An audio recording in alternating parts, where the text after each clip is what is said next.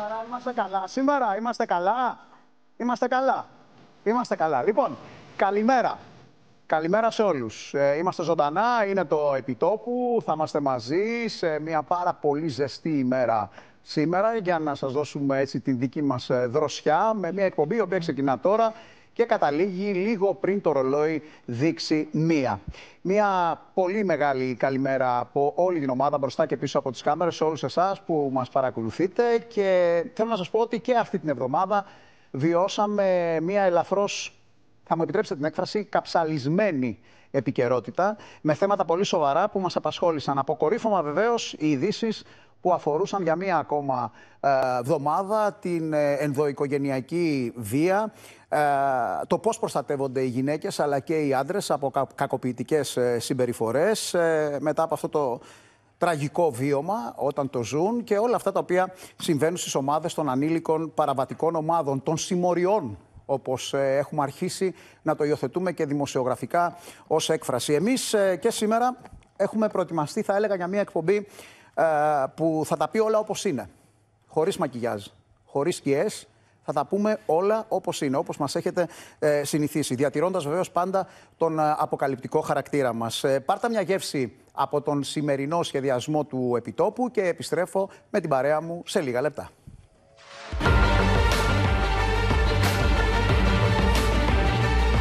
Κορυφώνεται η κόντρα του Βαλάντη με τον Γιώργο Λάγιο, η πρώτη απόφαση του δικαστηρίου και οι αντιδράσεις.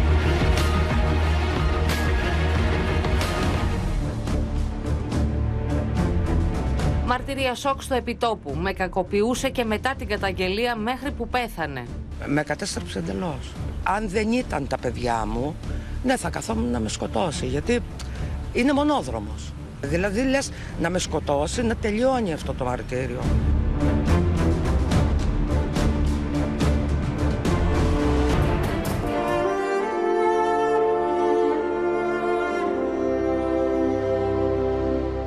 Μαύρη επέτειο συμπληρώνονται σήμερα 21 χρόνια από το δυστύχημα στα Τέμπη με τους νεκρούς μαθητές από το μακροχώρι Μαθίας. Τι απέγιναν οι οικογένειες των θυμάτων.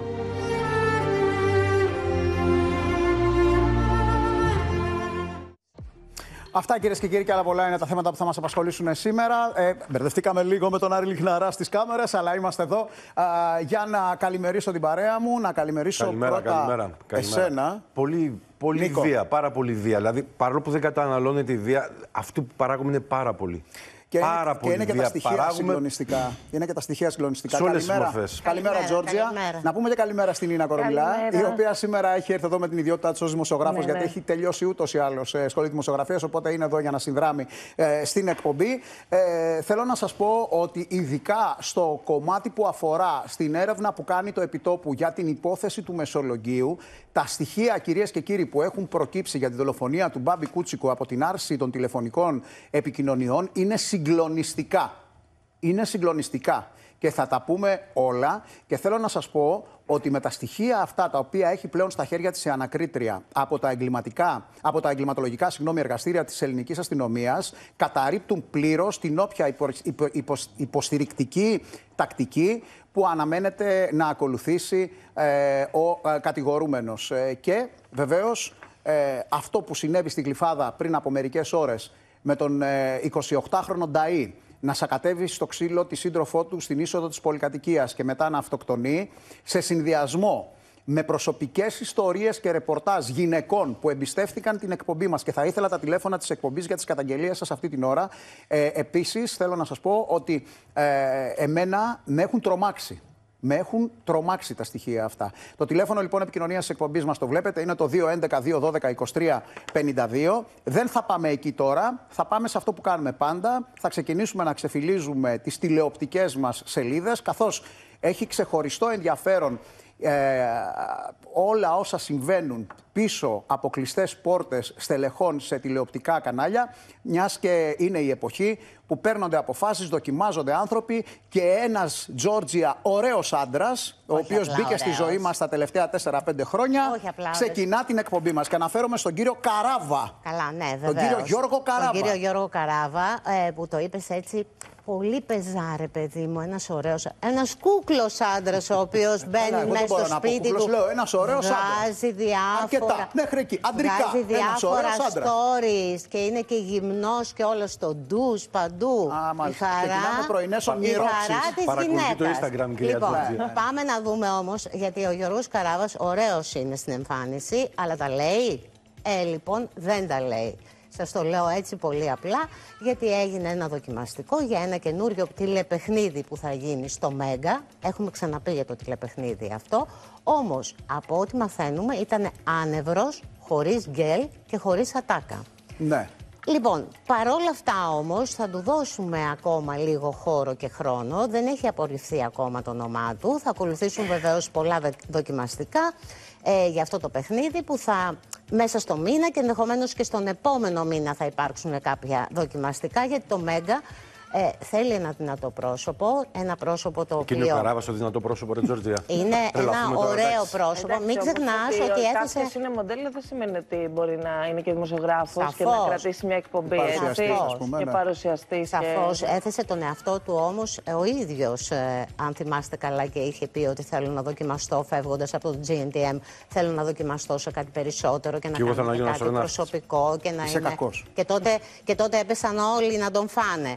Αφήστε τον άνθρωπο να δοκιμαστεί. Τόσοι και τόσοι έχουν δοκιμαστεί στο φινάλε. Τέλος πάντων. Απλά έχει καβαλήσει το καλάμι, δεν είμαι Πάντως, κακός εγώ έτσι. Τώρα έχει καβαλήσει το καλάμι και δεν μπορείς να πας από εκεί που ήσουν βοηθητικό προσωπικό σε μια εκπομπή να πα. Μονταρισμένη. Γιατί το λες; Μονταρισμένη. Γιατί το λες, Εγώ η το- Ζενεβιέβ. μονταρισμένη, Η δεν είναι Ζενεβιέβ, μονταρισμένη. η Ζενεβιέβ πώς το Επίσης πέτυχε; μονταρισμένη είναι η εκπομπή. Εμένα μου Ναι, αρέσει αλλά το και η Ζενεβιέβ, αλλά είναι άλλο Ζενεβιέβ πράγμα. ήταν βοηθητικό πρόσωπο Σε και το κάποιους, πέτυχε. σε κάποιους ταιριάζει, σε κάποιους δεν ταιριάζει. Παίζει και ρόλο και η σχέση που ξαφνικά έχει με πας το κεντρικός. κανάλι, νομίζω. Παίζει ρόλο. Εντάξει, πάντως επειδή το GNTM ε, πιθανόν και να μην Αλλά ξαναβγεί είδες στον όμως τι είπες στην αρχή, αέρα. είπες ότι ούτε ατάκα είχε, είπες, ούτε Ναι, τα ήταν έλεγε. άνευρος και. α- Όντως. ναι, δεν είχε- αυτό ναι. είναι ο Καράβας. Αυτό που έχουμε δει, αυτό είναι. Δεν είναι κάτι άλλο. Απλά ο ίδιος πιστεύει ότι είναι κάτι παραπάνω από αυτό που. Και η Τζόρτζια τον θέλει γυμνός στο κρεβάτι, μάλλον. Γιατί από τον τρόπο με τον οποίο το είπε. Στο Ε, ναι. ντους.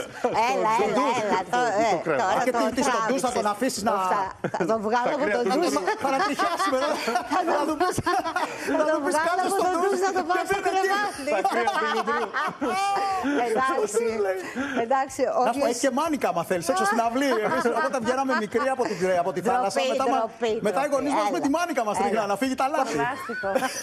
Φαντάζομαι θα έχεις πιάσει τη μάνικα και θα ρίχνεις στον καράβα τα νερά. Εσύ έτοιμη σε έχω.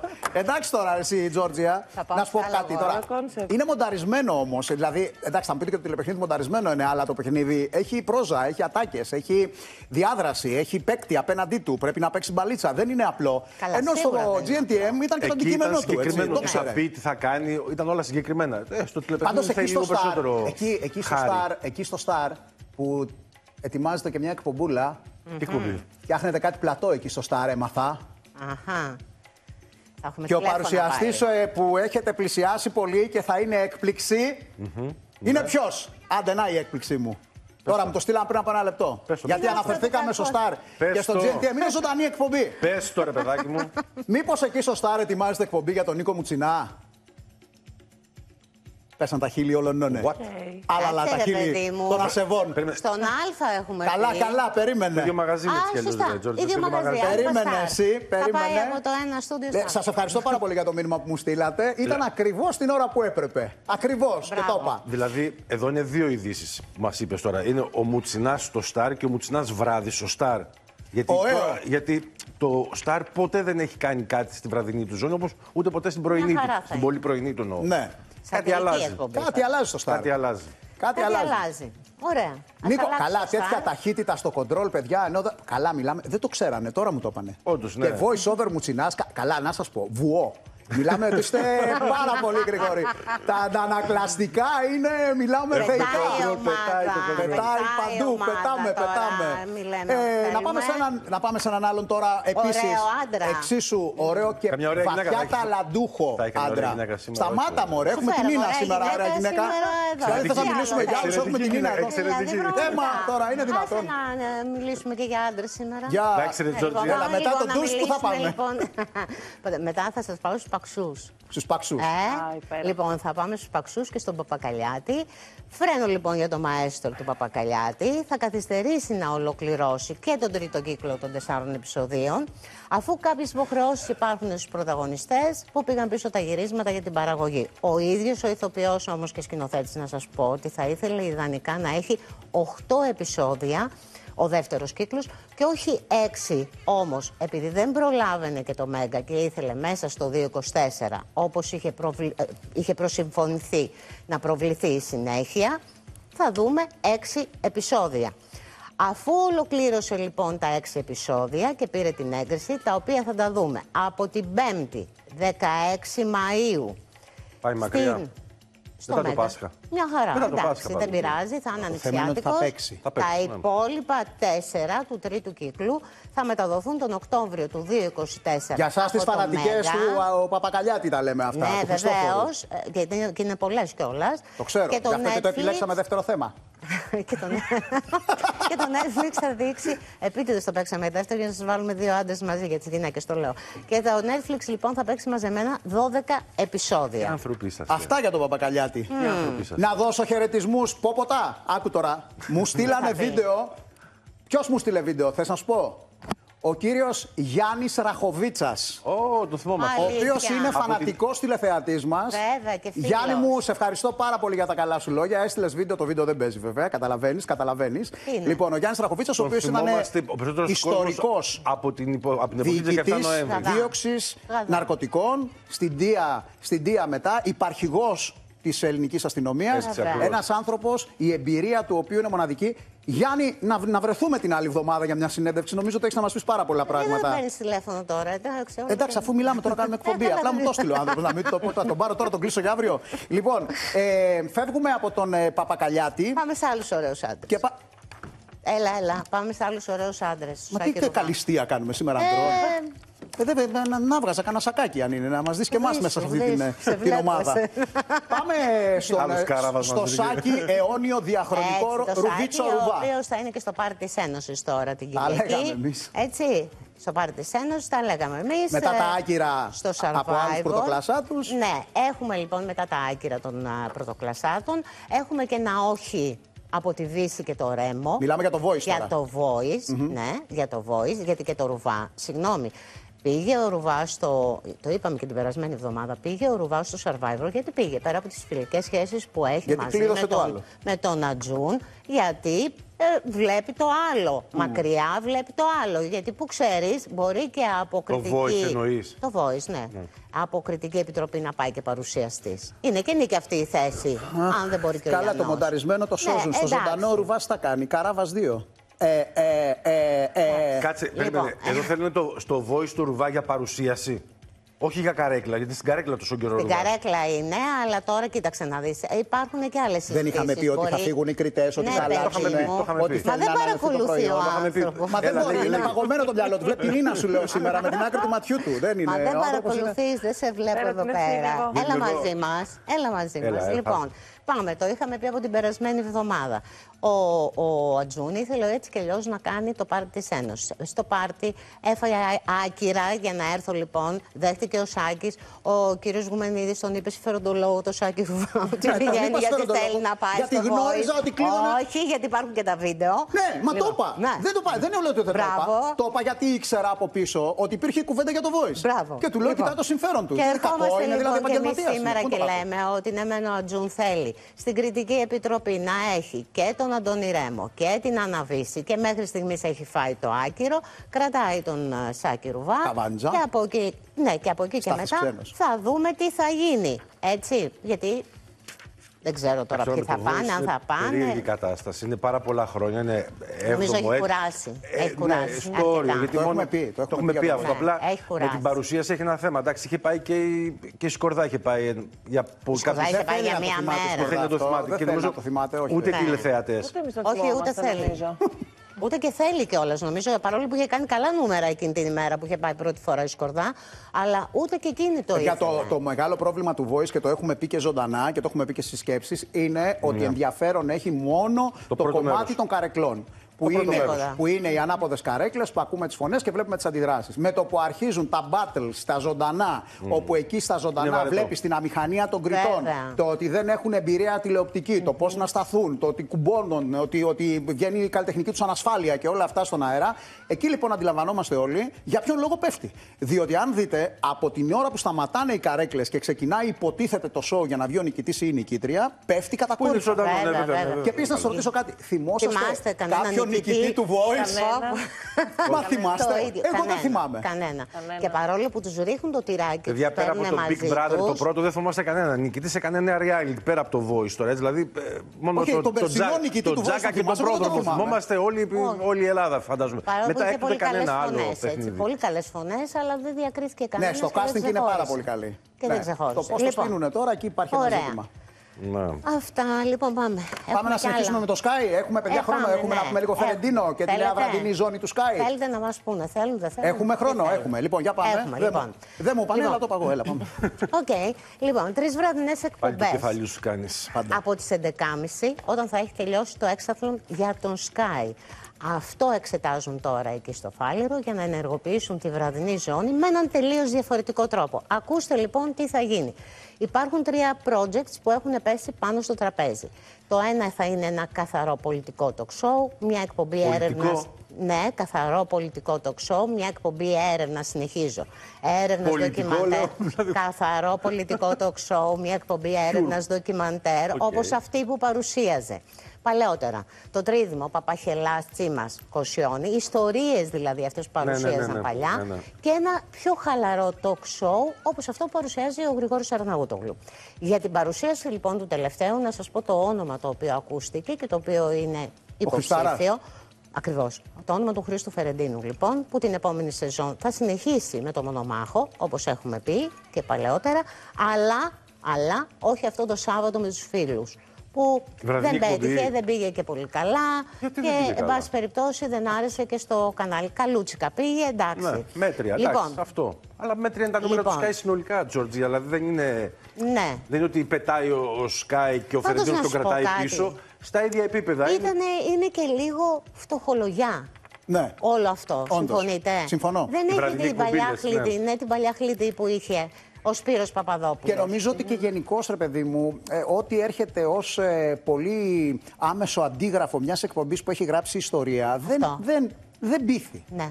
Όσο καλός και να είναι ο Χρήστος. Ναι, δεν συμφωνώ, πείθει. Δηλαδή συμφωνώ. ο κόσμος το βαριέται πλέον. Έχει τόσα προϊόντα έξω στο εξωτερικό. Όπα, έχουμε έκτακτο. Μισό λεπτάκι, με συγχωρείτε. Διακόπτουμε κυρίες και κύριοι την, ε, πραγμα- την κανονική ροή της εκπομπής μας, διότι έχουμε επίθεση με μαχαίρι. Ε, με νεκρούς και τραυματίες ε, αυτήν την ώρα σε εμπορικό κέντρο στο Σίδνεϊ. Έχουμε μια έκτακτη είδηση να συνδεθούμε ε, ζωντανά ε, με την ε, καλή συνάδελφο την ε, Άννα Μαρία ε, Κοφίτσα, η οποία είναι στη τηλεφωνική μας ε, γραμμή. Άννα Μαρία, σε ακούμε με προσοχή. Τι έχει συμβεί; Όλα ξεκίνησαν λίγο πριν από τις 4 στο εμπορικό κέντρο Westfield Bondi Junction στο Sydney. Οι πρώτες πληροφορίες κάνουν λόγο για τέσσερα άτομα που φέρονται να έχουν μαχαιρωθεί, ένα εκ των οποίων θανάσιμα.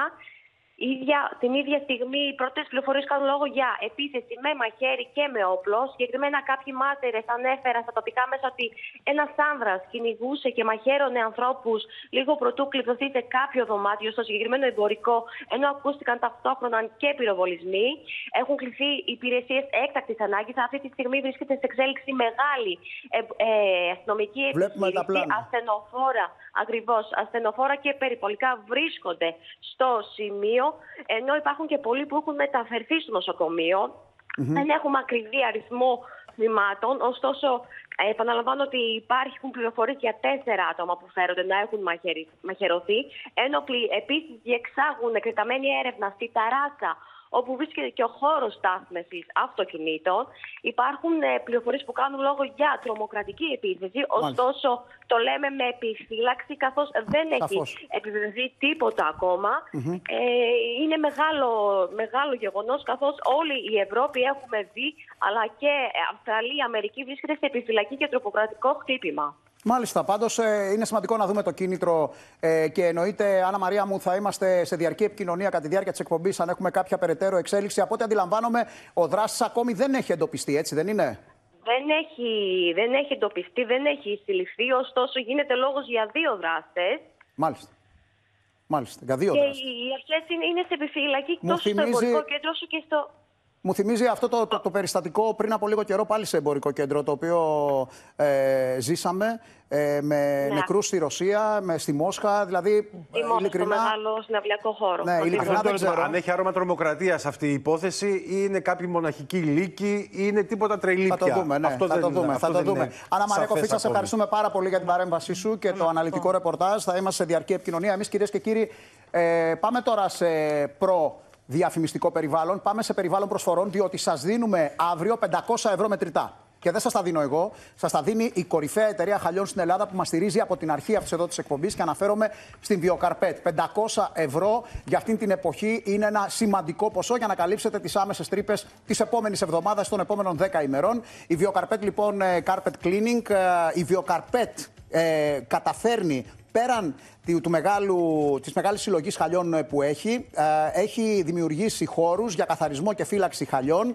με την εγγύηση βέβαια της κορυφαίας αυτής ε, εταιρείας, της Viocarbet Carpet Cleaning, η πιο σίγουρη και οικονομικά πιο συμφέρουσα επιλογή. Η Viocarbet λοιπόν σας δίνει τη δυνατότητα να διεκδικήσετε και να κερδίσετε στον λογαριασμό σας, που θα είναι στο όνομά σας ή σε κάποιον που θα είστε συνδικαιούχοι, 500 ευρώ. Αρκεί να τηλεφωνήσετε στο 14800 να αφήσετε τα στοιχεία σας ή να στείλετε γραπτό μήνυμα ε ταφ κενό ονοματεπώνυμο στο 14800. Αύριο θα ανακοινώσω τον νικητή ή την νικήτρια. Παράλληλα, μπαίνετε και στο μεγάλο διαγωνισμό ε, του καναλιού μας για να διεκδικήσετε το Opel Corsa Edition με την ίδια διαδικασία. Δηλαδή, με ένα μήνυμα μπαίνετε σε δύο διαγωνισμούς. Ο ένας δίνει άμεσα το δώρο, αύριο δηλαδή λίγο πριν το τέλος της εκπομπής, και ο άλλος σας βάζει στο μεγάλο δισάκι των διεκδικήσεων για αυτό το καταπληκτικό Opel Corsa Edition. Φεύγουμε εδώ. Η πρώτη μας στάση. Πάμε σε γρήγορες διαφημίσεις. Επιστρέφουμε. Μείνετε μαζί μας, διότι σε λίγο θα σας πούμε πολλά. Ειδικά για το θέμα που σας απασχολεί και μας ρωτάτε. Για την πορεία της υγείας του Δημήτρη Κόκοτα. Έχουμε νέα στοιχεία, τα οποία θα μοιραστούμε μαζί σας μετά τις διαφημίσεις.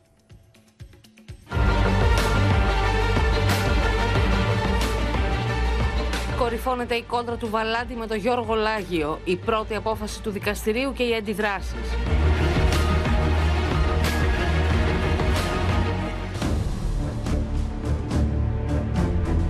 Μαρτυρία σοκ στο επιτόπου. Με κακοποιούσε και μετά την καταγγελία μέχρι που πέθανε. Με κατέστρεψε εντελώς. Αν δεν ήταν τα παιδιά μου, ναι, θα καθόμουν να με σκοτώσει. Γιατί είναι μονόδρομος. Δηλαδή λες να με σκοτώσει, να τελειώνει αυτό το μαρτύριο.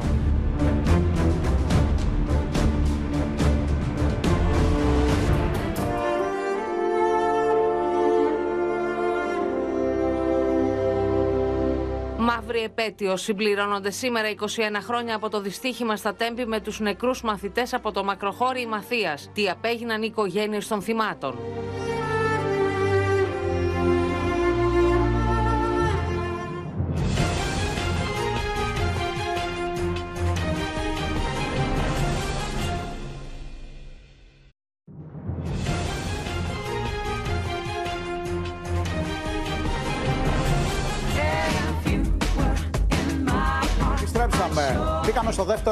Του επιτόπου και σε αυτούς τους ε, σκοτεινούς έτσι, καιρούς που διανύουμε όλοι και βιώνουμε στην καθημερινότητά μας έρχεται πριν από λίγο μία είδηση που μας γέμισε χαμόγελο, χαρά και ευτυχία. Όχι μόνο σε εμάς, αλλά και στον Ολυμπιονίκη μας τον Πύρο Δήμα, ο οποίος πριν από λίγο ανήρτησε στα κοινωνικά δίκτυα την έλευση του παιδιού του.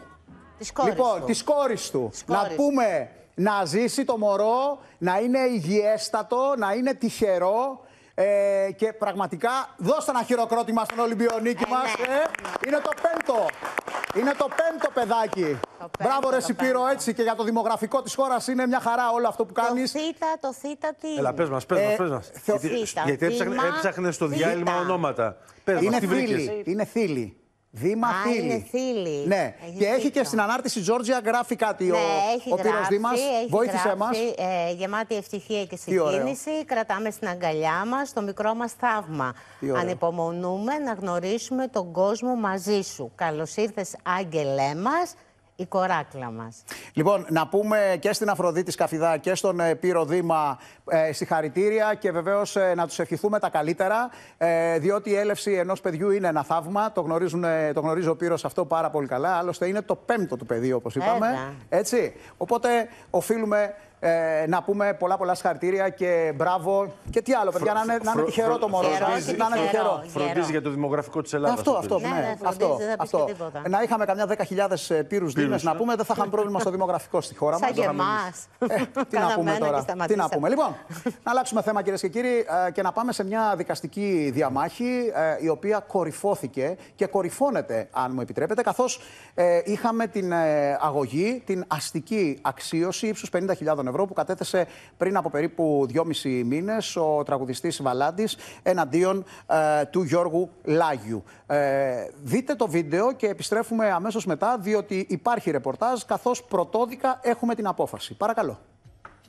Ακροβατώ σε ένα σκηνή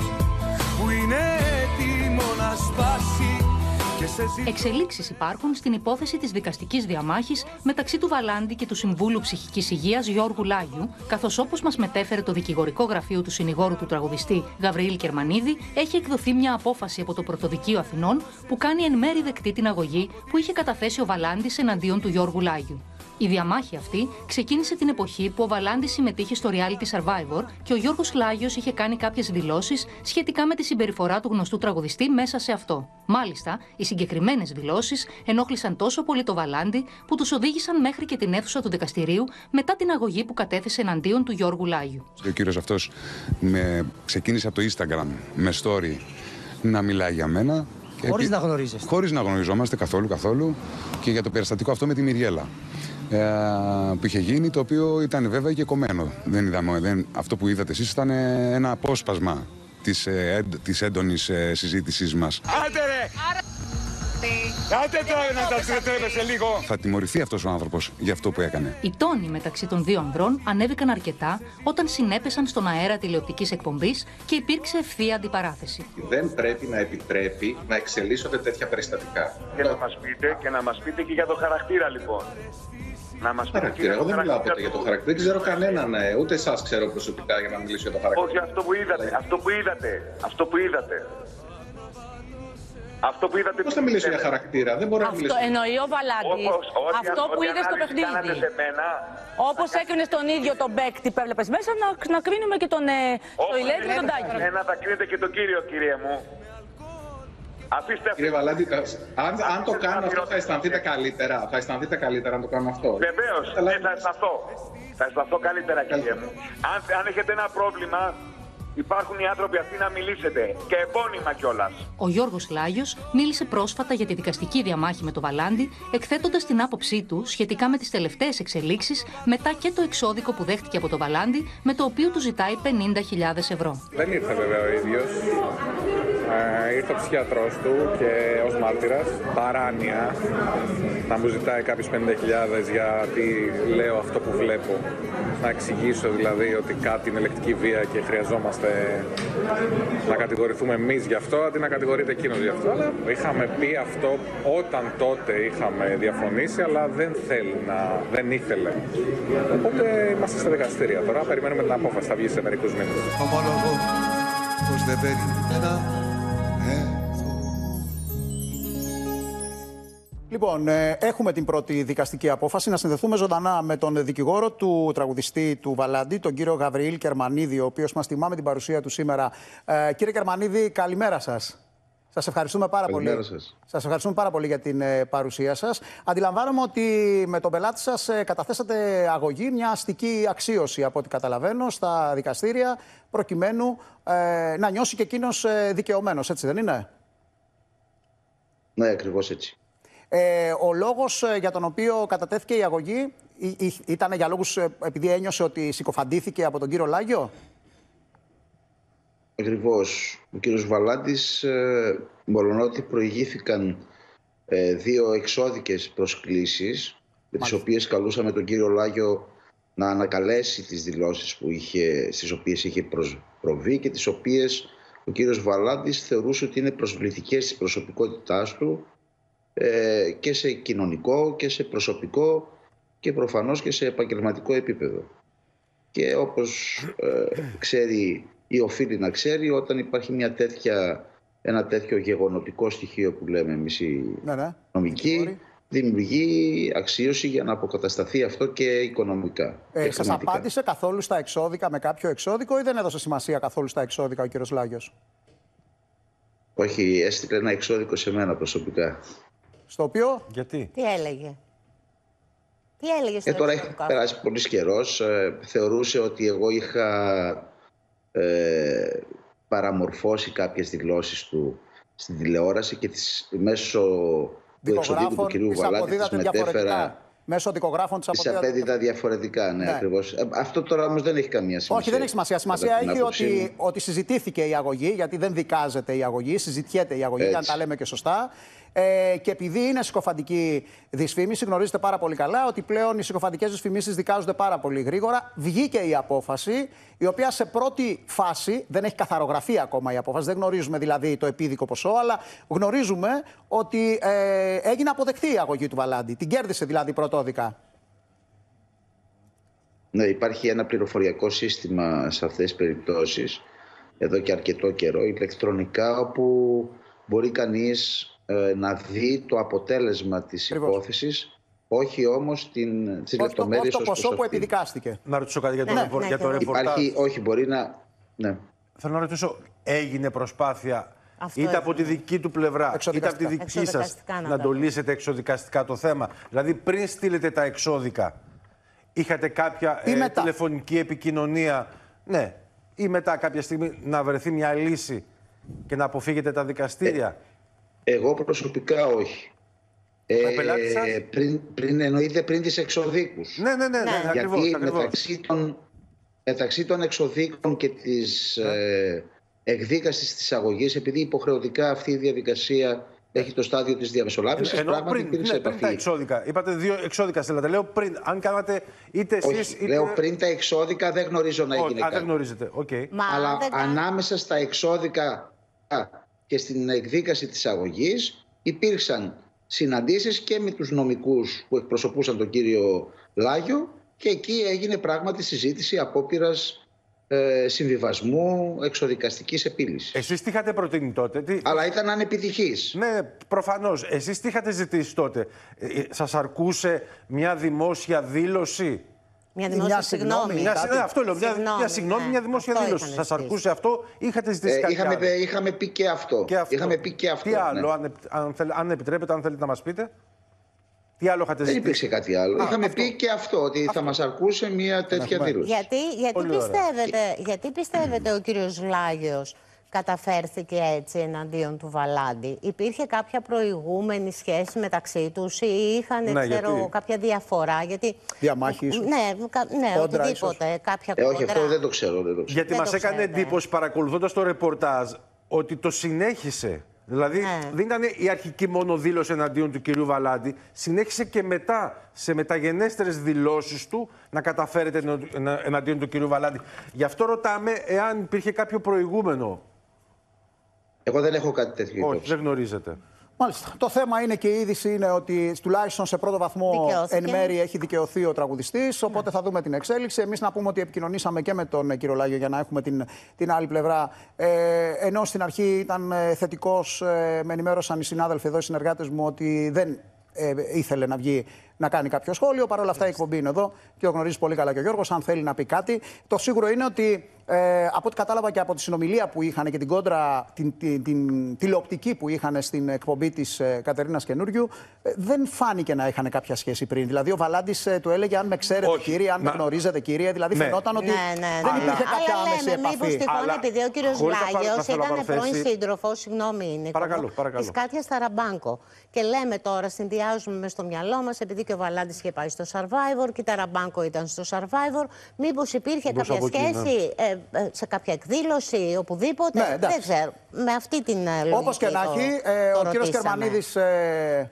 μιας που ε, έχει έτσι συμφέρον ε, για να εκπροσωπεί έναν πελάτη του, το κατάφερε το δικαστήριο τουλάχιστον πρωτόδικα, κέρδισε την αγωγή για τον Ξέρεις τι πελάτη γίνεται, του. Νάσο, αν μου Έλα. επιτρέπετε. Ε, πέρα από το δικαστήριο, είσαι σύμβολο ψυχικής υγιεινής. Δεν, ξέρω- δεν ξέρω τι σημαίνει. Ναι, Μπορεί να είσαι ψυχικής ψυχολόγος ή κάτι υγείας, τέτοιο. ναι. Δεν κάνεις διάγνωση από την τηλεόραση. Είναι εξωφρενικό. Πέρα λέω από το Εντάξει, δικαστικό εκτός σκέλος, αν- αν πέρα θες από τα να- πρόσωπα. Δηλαδή δεν μου αρέσει να βλέπω. Να... Είναι αυτό που καταγγέλνουμε και εμείς εδώ πολλές φορές από τις εκπομπές. Δεν μπορώ να βλέπουμε τώρα έναν ψυχολόγο να βγαίνει και να λέει αυτός έχει την τάδε αρρώστια επειδή τον άκουσα στην τηλεόραση ή έχει το τάδε Εκτός αν σύνδρομο θες να- ή να έχει το μένεις τάδε, στην ή την τάδε επικαιρότητα και νεύρωση. Να, να παίζεις έτσι. Μπορεί να, να, είναι παράδεκτο. και αυτό Πες τον, στη δεν μέση. σ' άκουσα, Μελίνα. Λέω εκτός αν θες να μένεις στην επικαιρότητα, οπότε να βγαίνεις και να, να λε για τον ένα, να λες για τον άλλον, ώστε να σε παίζουν τα κανάλια και να. Και να κάνουν να αναπαραγωγή υπάρχει των κάπως και δηλώσεων. να γίνεται Αυτό, αναπαραγωγή. Η έκθεση έχει Εντάξει. κόστος και ο κύριος Κερμανίδης γνωρίζει πάρα πολύ καλά τον νόμο και πάνω στον νόμο βασίστηκε για να καταρτήσει την αγωγή του, την οποία τουλάχιστον σε πρώτο βαθμό την έχει κερδίσει. Κύριε Κερμανίδη, πιείτε λίγο καφέ, γιατί σας, σας έχουμε ξυπνήσει ε, και σας ευχαριστούμε πάρα πολύ που ήσασταν μαζί μας ε, έστω Σας για αυτά τα λίγα ευχαριστώ. λεπτά. Μας τιμήσατε με την παρουσία σας, ευχαριστώ πολύ. Ευχαριστώ το, θέμα, πολύ. το θέμα κυρίες και κύριοι θα... Ευχαριστώ. Να είστε καλά, καλημέρα. Το θέμα κυρίες και κύριοι θα έχει συνέχεια, όπως συνέχεια θα έχει και η επικοινωνιακή στρακαστρούκα που ζήσαμε την εβδομάδα αυτή που μας πέρασε και να μου επιτρέψετε την έκφραση.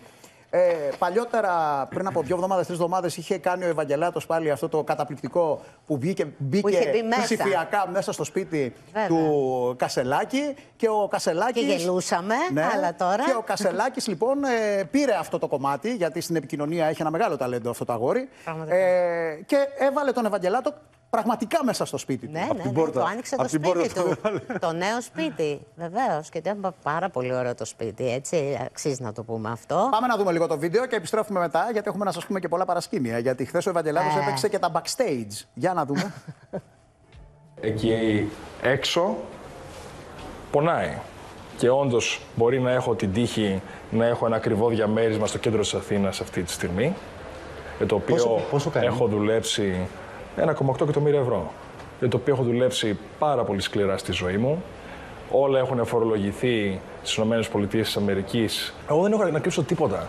Ήρθα εδώ πέρα στη χώρα μου να Πόσες ήταν προσφέρω, αυτές οι εταιρείες; να τηρήσω τον νόμο. Σε πόσες εταιρείες είχατε συμμετοχή; Δεν είσαι λογιστή μου, δεν πρόκειται να σου απαντήσω. Ωραία.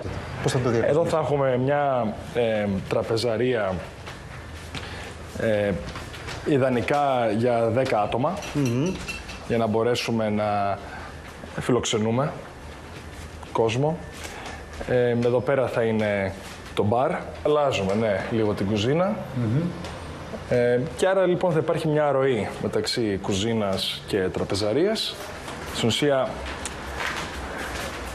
ένα καθιστικό το οποίο θα έχει. Τώρα να σου πω την αλήθεια, θα είναι παρόμοιο με αυτό το οποίο έδειξες εσύ. θα, θα, έχει, θα έχει το ημικύκλιο, τον ημικυκλικό καναπέ. Θα έχει ένα. Άσπρο χρώμα. Ε, άσπρο, μπέζ. Ε, Πάντως κάπου ανοιχτό εκεί. χρώμα. Ανοιχτό χρώμα. Ό,τι, ναι. ό,τι ήταν και εκεί. Μα ήταν πολύ, ωραία, Ναι. πολύ ωραίος συνδυασμός πραγματικά. Τις δύο μεγάλες πολυθρόνες και ο τζάκι. Και έξω εδώ πέρα θα είναι φυτά. Ποιος διακοσμεί, ποιος τρέχει το project; Και οι δύο. Είμαστε γενικά συνενετικοί. Ε, δε- έχουμε ελάχιστες διαφωνίες όσον αφορά στο design. Άρα, ειλικρινά είναι και οι Άρα δύο. συνήθως δηλαδή όταν θα δεις επιπλά. Είναι καλύτερος επομένω στο design. Ναι. Αλλά και εγώ έχω βελτιωθεί αρκετά και γενικά μπορώ και εγώ και βρίσκω πραγματάκια που. Είναι του αυτό αρέσουν. που δύο άνθρωποι που είναι μαζί βλέπουν κάτι και λένε συμφωνούμε, δηλαδή με το που το δούμε καταλαβαίνουμε και οι δυο ότι, ότι είναι Ναι. αυτό που θέλουμε και οι δύο. Ναι, ναι, ναι. Πάμε να δούμε λίγο σπίτι, ε, ε, να μην ανέβουμε πάνω. Άμα θέλετε, ανεβαίνουμε. Δεν Ω, έχω ωραία, θέμα, πάμε. αλλά δεν. ε,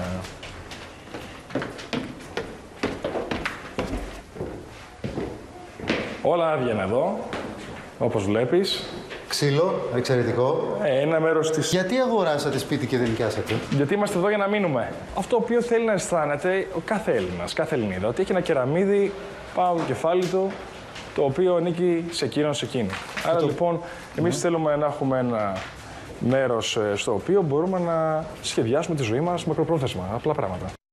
Απλά πράγματα. Απλά πράγματα δεν είναι καθόλου απλά. Χρυσό κεραμίδι. Δείξε ένα σπίτι που κάνει 1,8. Είναι ασύλληπτο το νούμερο. Είναι ασύλληπτο. Κάνα έτσι. τρακοσάρι ακόμα η ανακαίνιση. Ακρίβεια. Πώς Και την δεν είσαι καταλαβαίνεις τη λογιστής φτώχεια; μου. Εκεί που θέλουμε, Ακριβώς. Και, δείχνουμε. και σκέψου ότι ο Κασελάκης είναι αρχηγός της αξιωματικής αντιπολίτευσης ενός αριστερού κόμματος. Δεν είναι ενός συντηρητικού κόμματος.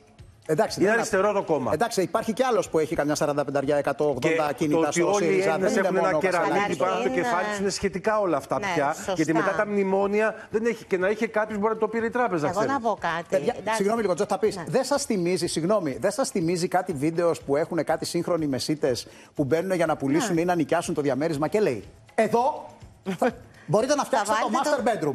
Ναι. Εδώ η τουαλέτα σας Έχει μπορεί μπερδευτεί να λίγο. βάλετε δηλαδή. τους γέρα Ναι, στο αυτό, βεσέ. Πολύ ωραία το λες. Έχει Εδώ- μπερδευτεί λίγο ο κύριος Ναι, Κασελάκης. δηλαδή δεν, δεν, δεν ήταν σαν μεσίτης λίγο που έδειχνε και περιέγραφε και όλα αυτά. Να σου, είχε πάει στο Γιώργο Λιάγκα και του έλεγε του Λιάγκα: Δεν μπορείς να πουλήσεις το αυτοκίνητο; Να στο πουλήσω εγώ το αυτοκίνητο. Είναι πολιτής, μεγάλος. Ε, κάτσε τώρα. Δεν, αυτό δεν είναι Καταρχήν πολιτικός αυτό αρχηγό. σα αρέσει εσάς ένα πολιτικό πρόσωπο να Όχι, είναι δεν μ' αρέσει, τόσο δεν μ' πολύ αρέσει να, να δείχνει ένα απενοχοποιημένος, σπίτι να ανοίγει ακόμα και 1,8 το εκατομμύρια σπίτι και μετά του. μιλάει για τη φτώχεια και την ακρίβεια. Ναι, ναι, Ε, και δεν ένα μπορεί να με κεραμίδι. πείσει. Και ένα κεραμίδι. Ε, και ένα κεραμίδι; Δεν Και μπορεί ένα να με κεραμίδι. πείσει, ας πούμε. Εγώ Για ποια πάντως ακρίβεια; εκείνο που παρατήρησα είναι ότι κάτω, στο κάτω μέρος, στη- στο σαλόνι, απέναντι, υπάρχει βεράντα. Η κυρία, φαντάζομαι, Ή ο που θα κύριος. μένει, ο κύριος που θα μένει, θα έχει άπλετη θέα και θα παρακολουθεί τα πάντα. Πρέπει να τον κάνουμε φίλο αυτόν. Πρώτον. Ναι, ναι, ναι. πρώτον. Και δημοσιογραφικά. Επάνω. Βέβαια είναι προσωπικά δεδομένα, είναι στο σκληρό πυρήνα να δεν ξέρεις. πειράζει, Εκεί δεν κάτι μπορεί θα να μαθαίνουμε. παίξει. Λοιπόν, επάνω. Κουρτίνες έχει- να βάλετε, έχει τις φυτά. χοντρές. Να μην Επάνω- περνάει ο ήλιος Ναι, μέσα. Έχει φυτά, έχει Ξέρεις. φυτά στη βεράντα. Κάτω δεν έχει φυτά. Επάνω όμως στην κρεβατοκάμαρα έχει φυτά. Ναι. Τι Κισούς,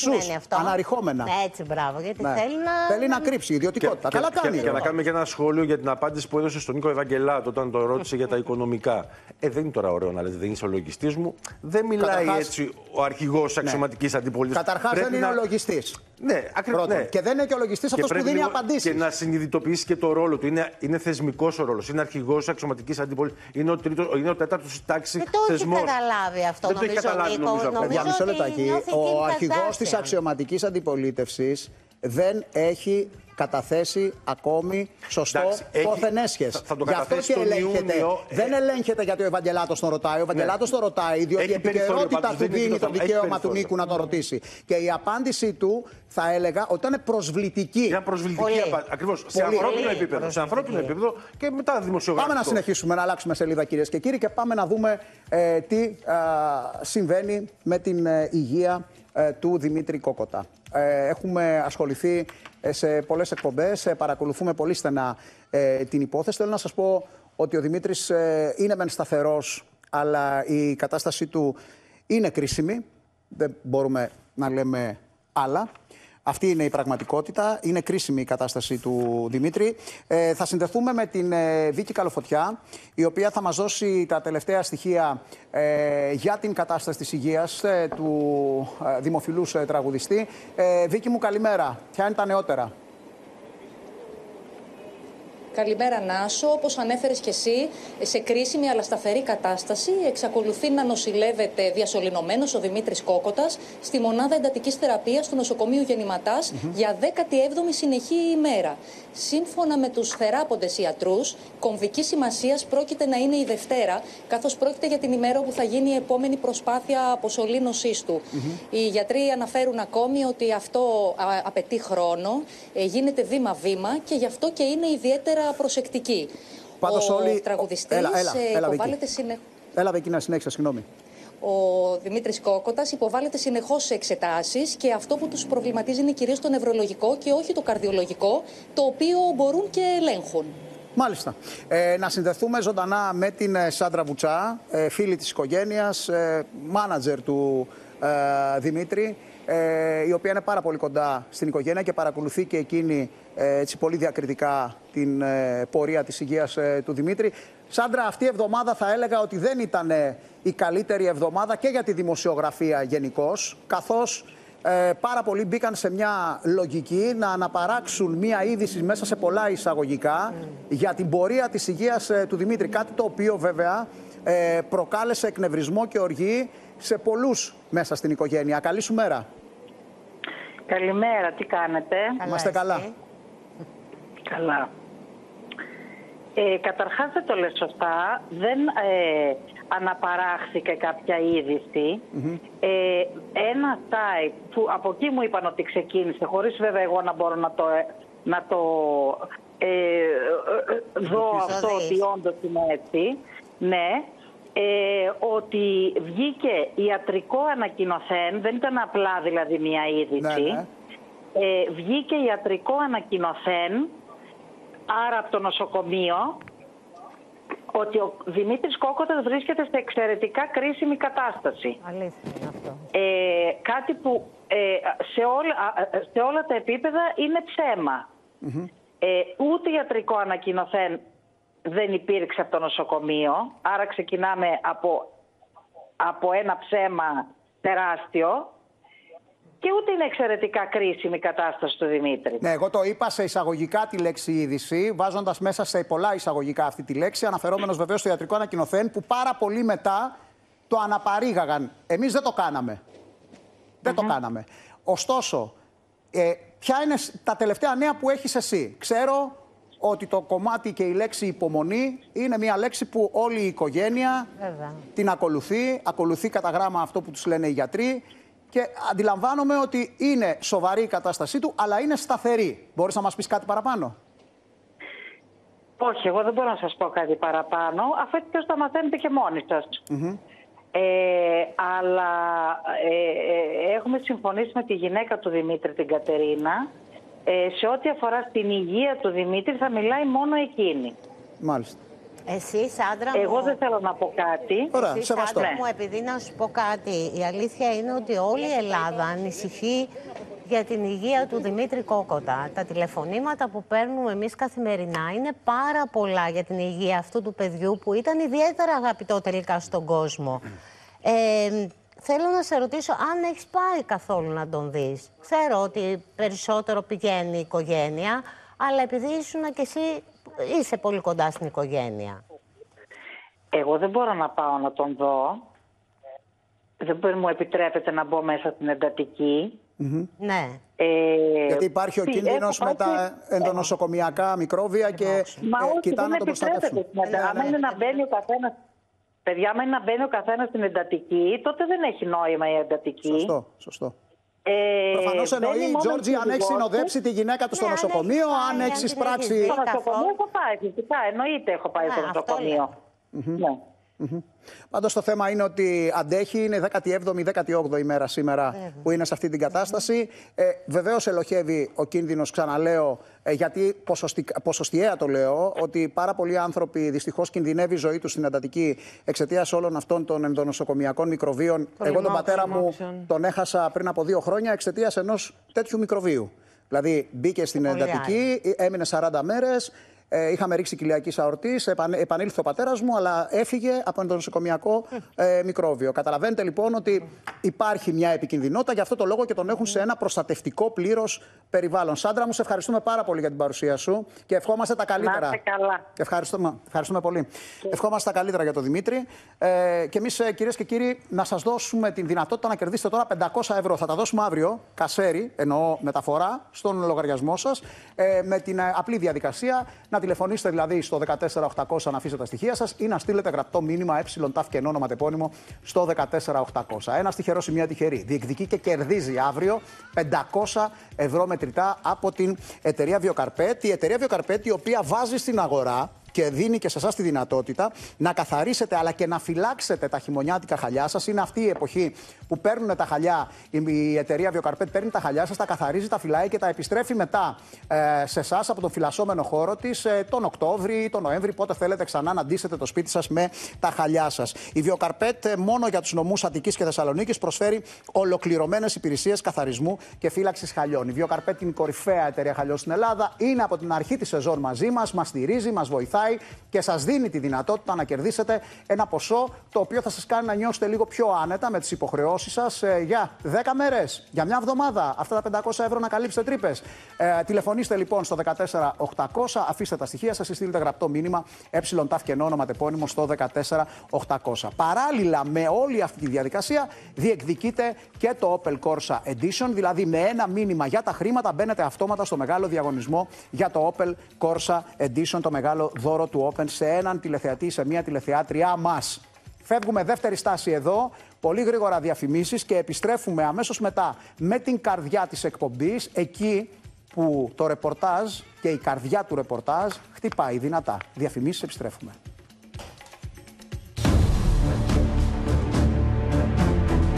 Μαρτυρία σοκ στο επιτόπου. Με κακοποιούσε και μετά την καταγγελία μέχρι που πέθανε. Με κατέστρεψε εντελώς. Αν δεν ήταν τα παιδιά μου, ναι, θα καθόμουν να με σκοτώσει. Γιατί είναι μονόδρομος. Δηλαδή λες να με σκοτώσει, να τελειώνει αυτό το μαρτύριο.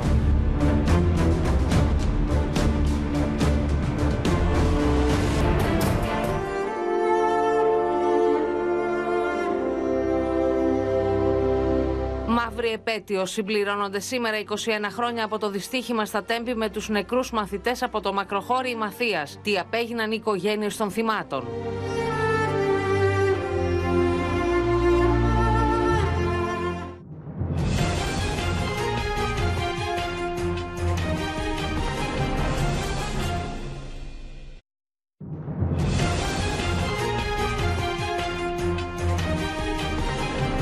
Στο Σίδνεϊ. Αυτή τη στιγμή ε, έχουν καταμετρηθεί τέσσερις νεκροί. Ε, οκτώ τραυματίες, ανάμεσα στους οποίους και ένα βρέφος μόλις εννέα μηνών με την ε, μητέρα του, ενώ πριν από λίγο έγινε γνωστό ότι ε, είναι νεκρός και ο δράστης. Τελικώς ήταν ένας ο δράστης του μακελιού. Αυτές είναι οι τελευταίες αναφορές που έχουμε για το μακελιό στο Σίδνεϊ. Ψάχνουμε να δούμε εάν ανάμεσα στους αυτόπτες μάρτυρες ή ανάμεσα στους τραυματίες υπάρχει κάποιος Έλληνας ή κάποιος ομογενής. Αυτά θα τα πούμε κατά τη διάρκεια της εκπομπής. Όπως καταλαβαίνετε, συνέβη πριν από λίγο. Γι' αυτό είμαστε εδώ, για την επικαιρότητα επιτόπου, να σας δώσουμε τα τελευταία στοιχεία του μακελιού στο Σίδνεϊ. Ε, φεύγουμε από το Σίδνεϊ και πάμε στην οδό Ικαρίας. Πάμε στη Γλυφάδα, πάμε να συναντήσουμε τη Βίκη Καλοφωτιά, η οποία βρίσκεται στο σημείο. Ε, α, βλέπω ότι έχει και έναν καλεσμένο, έναν άνθρωπο μάλλον εκεί που ζούσε στην περιοχή. Βίκη, ε, ζει στην περιοχή. Ε, πες μου Βίκη, τι έχει συμβεί; Νάσο, άλλο ένα περιστατικό κακοποίησης γυναίκας και μάλιστα από το σύντροφό της. Εκτελήχθηκε χθες το μεσημέρι εδώ, μπροστά στην είσοδο της πολυκατοικίας όπου βρισκόμαστε, όταν οι γείτονες είδαν έναν 28χρονο άνδρα, ο οποίος διέμενε μάλλον στην πολυκατοικία, να χτυπάει τη σύντροφό του και εκείνη να φωνάζει καλώντας σε βοήθεια ε, μετά από εκείνη τη στιγμή περνούσε ένα περιπολικό και μόλις το αντιλήφθηκε ο νεαρός άνδρας, έτρεξε και κλείστηκε στο διαμέρισμά του. Στη συνέχεια κάλεσαν διαπραγματευτή και μετά από εισαγγελική εντολή, οι αστυνομικοί εισέβαλαν στο διαμέρισμα για να τον βρουν νεκρό, καθώς είχε αυτοπυροβοληθεί. Ε, κοντά μας έχουμε τον ε, κύριο Δημήτρη, ο οποίος ε, είναι ένικος στην πολυκατοικία και θα μας πει και εκείνος κάποια πράγματα σχετικά με το τι είδε, τι άκουσε Βεβαίως. και όλα όσα αντιλήφθηκε. Να τον ακούσουμε. Κύριε Δημήτρη, σας ακούμε. Ναι, καλή σας μέρα. Καλημέρα σας. Ε, όλα ξεκίνησαν χθες το, από χθες τη νύχτα, γύρω στις 2.30 ώρα, έμπαινε μέσα στο πάρκινγκ της πιλωτή που είναι χαλικοστρωμένη, με χίλια και σήκωνε σκόνες, χαλίκια, με σπινιαρίσματα. Ε, μετά το πρωί με ξύπνησε 7 παρατέταρτο με φωνές και πήγε στην διπλανή ακριβώς εταιρεία, τη Ιαπωνική που είναι, και λέει: Γεια σας, ρε παιδιά, ρε Αλάνια, τι κάνετε εδώ, να σας βοηθήσω, να δώσω ένα χεράκι να τελειώνετε πιο γρήγορα. Αλλά φαινόταν σε έξαλλη κατάσταση. Το Ο δράστης. μεσημέρι, κατά τις- εγώ είχα πέσει για ύπνο. Ναι, ο ναι. δράστης, ναι, ο, ο Παναγιώτης, Ναι, ο ναι. Κούκος. Το μεσημέρι είχα πέσει για ύπνο, άκουσα φωνές, φασαρία και μαθαίνω ότι έδερνε τη, μια κοπελίζα της σύντροφό του. Νεαρή που είχε τους τελευταίους μήνες. Την πρόλαβε και την πήρε η κυρία Ανδρικοπούλου στον τέταρτο, στο διπλανό δια- διαμέρισμα και την έσωσε. Μετά ήρθε και η Α, τη αστυνομία. φυγάδευσε και δηλαδή λίγο μια πολύ είναι γνωστά. γειτόνισσα την κοπέλα. Τη φυγάδευσε μια γειτόνισσα που έβλεπε το σκηνικό. Στο διπλανό διαμέρισμα η, κυ- η, κυ- η κυρία Ανδρικοπούλου. Μάλιστα. Ναι, και πρόλαβε στο τσάκι, έκλεισε την πόρτα της γιατί είχε σκοπό να την πιάσει και να τη σκοτώσει. Είχατε ξαναδεί το ζευγάρι να τσακώνεται. Όχι, όχι. Πρώτη φορά. Είναι η πρώτη φορά. το είχα δει. Και μετά ε, πέρασε Είχα δει το όντως ζευγάρι ένα να τσακώνεται. περιπολικό της αστυνομίας. Τυχαία δηλαδή πέρασε περιπολία. Της όπια ήταν οι άντρες αυτοί. Έτσι άκουσα, έτσι, έτσι άκουσα, έτσι άκουσα. Πόσο καιρό ήταν μαζί το ζευγάρι; Γνωρίζετε; 5-6 μήνες. Με, έμεναν μαζί στο ίδιο διαμέρισμα δηλαδή; Κάπου εκεί. Έμεναν μαζί ή, την, ή τον Αρχικά, ναι, επισκεπτόταν. και- έχει- Μαζί με ένα ναι, αλλά τώρα τελευταία είχε μετακομίσει και πάει στη Βούλα. Και χθες έπαιρνε τα τελευταία πράγματα γιατί ήταν να παραδώσει το παιδί. Α, χώρισαν δηλαδή Ήταν και η κύριο που γυναίκα ήθελε. ήθελε να πάρει τα πράγματά της να Κατάλαβε. φύγει από την κοινή του στέγη. Δεν χωρίσανε. δε- Δεν χωρίσανε, όχι, δεν χωρίσανε. Απλώς μετά τους έδιωξε ο ιδιοκτήτης, ήθελε το σπίτι για ε, να Α. κάνει διόχρηση και είχε νοικιάσει ένα άλλο στη Βούλα. Μάλιστα. Πάντως να πούμε για τον συγκεκριμένο, δεν χρειάζεται να αναφέρουμε το, το, τα ονοματεπώνυμα, να το πω αυτό του δράστη. Ε, να πούμε για το Ναι. συγκεκριμένο ότι ήταν γνωστό στην αστυνομία. Ε, Είχε παραβατική Αυτό συμπεριφορά. να ρωτήσουμε. Βεβαίως, τα αν, αν ο γνωρίζουμε κύριος όλοι είχε μας. εντοπίσει ε, παραβατικές συμπεριφορές στην πολυκατοικία σας, αν είχατε εντοπίσει παράξενες κινήσεις. Βεβαίως, γιατί γι- γινόταν παρέ- παρέλαση στην πολυκατοικία. Από εννοείται; διαφόρους. Τι εννοείται Α, από παρέλαση; διαφόρους, από διαφόρους. Ε, κόσμο, κόσμος ερχόντουσαν, φίλοι του, φίλες του. Το βλέπανε για λίγα, ένα λεπτό, δύο και φεύγαν. Ένα λεπτό, δύο σημαίνει συγκεκριμένα πράγματα. Πάει το μυαλό μου σε συγκεκριμένα πράγματα. Εντάξει, Το σε- να το κάνεις- μυαλό μας μπορεί να πάει παντού, Νίκο. Ε, το δεν θέμα θέλω είναι να πω ότι τίποτα άλλο. ο άνθρωπος αυτός έδωσε τέλος στη ζωή του με ένα Glock το οποίο διατηρούσε παράνομα Ναι. και είναι ένας άνθρωπος ο οποίος επειδή έχει παραβατικό παρελθόν πήγαινε στο ΑΤΑΦ Γλυφάδας και έδινε το παρόν κάθε τόσο. Δηλαδή δεν είναι. Μιλάμε έχει για. παρελθόν, ναι, μεγάλο, έχει, παρα- βαρύ. έχει παρελθόν παραβατικό. Δηλαδή, Σε, σε εμάς ήταν ευγενικό παιδί, σε εμάς ήταν ευγενή. σε εσάς όλους ήταν μας. ευγενή. Μάλιστα. Σας ευχαριστώ πάρα Σε, πολύ. όλη, σε όλη την πολυκατοικία. Σας ευχαριστώ πάρα πολύ. Εύχομαι Να να, είστε μην καλά. ξανασυμβεί και αυτή εκεί στην ήρεμη γειτονιά που έχετε εκεί στην Ικαρίας να παραμείνετε ήρεμοι. Διότι εντάξει, αυτά τα περιστατικά είναι τραγικά πραγματικά και έρχονται και λίγες ώρες μετά τη Τα δολοφονία της τελευταία δύο Κυριακής. χρόνια είχαμε, είχαμε ταλαιπωρηθεί πολύ. Τα λέτε όλα. Δεν χρειάζεται να πούμε κάτι άλλο, κύριε Δημήτρη. Εμείς σας ευχαριστούμε πάρα με πολύ. φασαρίες, χτυπήματα κτλ.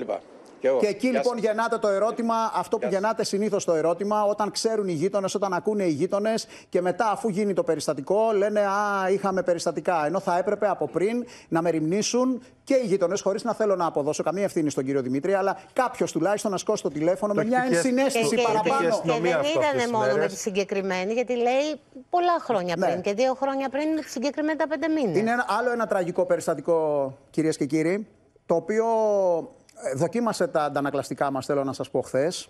Και το λέω έτσι γιατί, γιατί αυτή η γυναίκα, η 21 έτους γυναίκα, η οποία δέχτηκε την κακοποίηση από τον αυτόχειρα σύντροφό της, ηρέμησε και θα ηρεμήσει επειδή ο συγκεκριμένος άνθρωπος έδωσε τέλος στη ζωή του. Αντίστοιχο περιστατικό έχει καταγράψει στο επιτόπου. Ο Νίκος Νικολετάκης συνάντησε μία γυναίκα η οποία δεχόταν, φέρτε μου λίγο τον Νίκο σας παρακαλώ, δεχόταν Νίκο παραβατική, κακοποιητική συμπεριφορά από τον άντρα της επί χρόνια, έτσι, και σου εκμυστηρεύτηκε στη συνέντευξη. Τι να πω τώρα, όταν είδα τη συνέντευξη, ειλικρινά ε, έχασα το φως μου. Λέω, δεν είναι δυνατόν, έχασα το χρώμα μου. Αυτή η γυναίκα τι περνούσε και είχε και τη δέσμευση των παιδιών της, έτσι. Έλα Νίκο. Ζούσε ένα εφιάλτη η γυναίκα, κλέφτηκε με τον συγκεκριμένο, ενώ ήταν 16 ετών. Ήταν λίγο μεγαλύτερός της αυτός. Ε, και από την πρώτη μέρα άρχισε να τη χτυπάει. Γιατί λέει στο- από το νησί που ήταν αυτός, γιατί αυτή είναι από την Κρήτη, ε, είχαν αυτή την οτροπία. Ότι ο άντρας, ας πούμε, αν δεν δέρνει τη γυναίκα του, δεν είναι αρκετά άντρας. Αυτό μου έλεγε. Απίστευτα πράγματα. Αλλά το χειρότερο απ' όλα είναι ότι ε, παρά το ότι πήγε πολλές φορές στο αστυνομικό τμήμα μεγάλης πόλης της Κρήτης, συνάντησε αδιαφορία των αστυνομικών, οι οποίοι στην καλύτερη των περιπτώσεων προσπαθούσαν να την αποτρέψουν να κάνει μήνυση, στη χειρότερη την πέταξαν στα σκουπίδια. Λοιπόν, Νίκο, πάμε να δούμε τι σου εκμυστηρεύτηκε και δείτε τον κοινό παρονομαστή των δύο περιπτώσεων. Της γλυφάδας που είδαμε λίγο πριν με την υπόθεση αυτή του Νίκου. Οι γυναίκες ηρέμησαν όταν οι κακοποιητές έφυγαν από τη ζωή. Παρακαλώ. Μιλάμε για κακοποίησεις, όχι ένα χαστούκι, όχι μια κλωτσιά. Μιλάμε για σοβαρές κακοποίησεις. Όπως με ρόπαλα, με καδρόνια αυτά της οικοδομής, με σιδηρολοστούς, με κλοπ που παίρνουν αυτά στα γήπεδα που έχουν τα αυτοσχέδια. Να σε χτυπάει με μπουνιές στο πρόσωπο μέχρι να σου κόψει την αναπνοή, να πεθάνεις, να σε πατάει στο λαιμό. Επί δέκα ολόκληρα χρόνια ζούσε έναν εφιάλτη. Τα πρώτα επτά παντρεμένη με τον κακοποιητή της. Τα χειρότερα όμως ήλθαν όταν τον κατήγγειλε και χώρισε. Δεν βάζουν σκοπό να σε σκοτώσουν όσο είσαι μες στο σπίτι. Μπορεί να σε χτυπάνε άσχημα, αλλά ξέρουν με τι, συ- μέχρι σε τι σημείο θα σε χτυπήσουν για να μην πάθεις κακό. Μετά που χώρισα, που είδε ότι δεν υπάρχει περίπτωση να ξαναγυρίσω, το είχα- ξεκίνησε να προσπαθεί να με σκοτώσει. Μου έλεγε ότι αφού δεν μπορώ να σε έχω εγώ, δεν θα σε έχει κανένας άλλος. Εσύ στο χώμα, εγώ στη φυλακή. Όπως μας λέει, αυτό που την κράτησε στη ζωή ήταν τα παιδιά της. Με κατέστρεψε εντελώς. Αν δεν ήταν τα παιδιά μου, ναι, θα καθόμουν να με σκοτώσει. Γιατί είναι μονόδρομος. Δηλαδή λες να με σκοτώσει, να τελειώνει αυτό το μαρτύριο. Το μόνο που ευχαριστώ το Θεό είναι αυτά τα παιδιά. Γιατί αυτά τα παιδιά μου δώσαν όθηση να ζήσω. Αλλιώς θα είχα πεθάνει. Μπορεί να είχα βάλει τέρμα στη ζωή μου και η ίδια με όλα αυτά που τραβούσα. Η γυναίκα καταγγέλει ότι πήγε πολλές φορές στο αστυνομικό τμήμα μεγάλης πόλης στην Κρήτη, εμφανώς χτυπημένη και αιμόφερτη. Καμία βοήθεια. Η αστυνομία καμία στήριξη, καμία όμως. Δηλαδή; Ε, να προσπαθώ να κάνω μηνύσεις, αυτός πάντα παρόν, πάντα με παίρνει από πίσω, ερχόταν μαζί μου στην αστυνομία. Ήταν, πιστεύω ότι επειδή ήταν τόσο χειριστικός άνθρωπος, χειριζόταν πάρα πολύ καλά και την αστυνομία. Δηλαδή έμπαινε μέσα, παραδεχόταν τα πάντα. Οι αστυνομικοί το κοιτάζανε με ήκτο και όχι εμένα που πήγαινα με στα μέτρα και πάντα πήγαινα πολύ άσχημα χτυπημένη. Η αστυνομία να προσπαθεί να με καταφέρει τώρα να μην κάνω μήνυση. Είστε κατώτερο. Αυτό μου δίνανε εμένα να καταλάβω στην αστυνομία. Μετά από έναν βίαιο ξυλοδαρμό, η άτυχη γυναίκα πήγε στο τμήμα αποφασισμένη να κάνει μήνυση. Έχει θυμώσει λοιπόν ο αξιωματικός υπηρεσίας μαζί μου, προφανώς. Παίρνει το, το χαρτί να συντάξει υποτίθεται τη μήνυση. Αυτός ακόμα ε, με νευρικές κινήσεις γύρισα να το ρωτήσω μήπως ξέρει πότε θα εκδικαστεί. Τον βλέπω και την πετάει στα σκουπίδια μπροστά μου. Έγινε βέβαια ο χαμός. Άρχισαν να φωνάζουν, μου έλεγε ότι θα με κλείσει μέσα. Γιατί φώναζα. Απελπισμένη από τη στάση των αστυνομικών, η γυναίκα έφυγε από το σπίτι της. Τελευταία φορά που με χτύπησε πάρα πολύ άσχημα ήταν μια, η παραμονή της πρωτοχρονιάς. Μπήκε στο σπίτι μου, με χτύπησε στον ύπνο μου, γιατί τον είχα συναντήσει μία ώρα πριν και μου ζήτησε να είμαστε πάλι μαζί και του είπα όχι. Πήδηξε τον τοίχο, μπήκε στην αυλή μου, άνοιξε την πόρτα, με χτύπησε, με τράβηξε, με έβγαλε στην αυλή, συνέχισε να με χτυπάει. Παίρνω την αστυνομία. Η αστυνομία μου απάντησε ότι τη βραδιά που είναι έχουν πιο σημαντικά ε, να ασχοληθούν. Άρχισα πάλι να ουρλιάζω και να φωνάζω. Τα ξημερώματα ήρθαν. Αυτό ήταν απ' έξω. Πάλι τον είχαν μπροστά τους. Εγώ πάλι αγνώρισα από το ξύλο, μέσα σε μια λίμνη αίματος. Φοβήθηκε κάπως αυτός γιατί μου είχε κάνει πιο σοβαρή ζημιά. Ε, τότε είχα πάθει αιμάτωμα στο κεφάλι, αποκόλληση στο μάτι. Το θύμα καταγγέλει ότι και αυτή η μήνυση που υπέβαλε εξαφανίστηκε ως διαμαγείας από το αστυνομικό τμήμα. Η ίδια συνέχισε να ζει σε ένα καθεστώς τρόμου μέχρι που συγγενείς του δράστη την ενημέρωσαν ότι πέθανε από καρκίνο στα 52 του χρόνια. Η ίδια απελευθερώθηκε οριστικά από τον κακοποιητή της, δεν μπόρεσε όμως ποτέ να ξεπεράσει τα ψυχικά τραύματα που της προκάλεσε. Από τη στιγμή που ζεις με κάποιο κακοποιητή, η ζωή σου είναι πάντα κατεστραμμένη. Ζεις, αλλά δεν μπορείς να προχωρήσεις, γιατί όλα αυτά που έχεις ζήσει επηρεάζουν το μετέπειτα. Γίνεται αυτό το περιστατικό με τη δολοφονία της κοπέλας έξω από το τμήμα. Δεν έχει αλλάξει τίποτα. Έχουν γίνει χειρότερα τα πράγματα. Φτάσαμε στο σημείο. Εμένα πετάξανε μια μήνυση στα σκουπίδια. Ε, την κοπέλα αυτή την αφήσανε μέσα στο αστυνομικό τμήμα να τη σκοτώσει.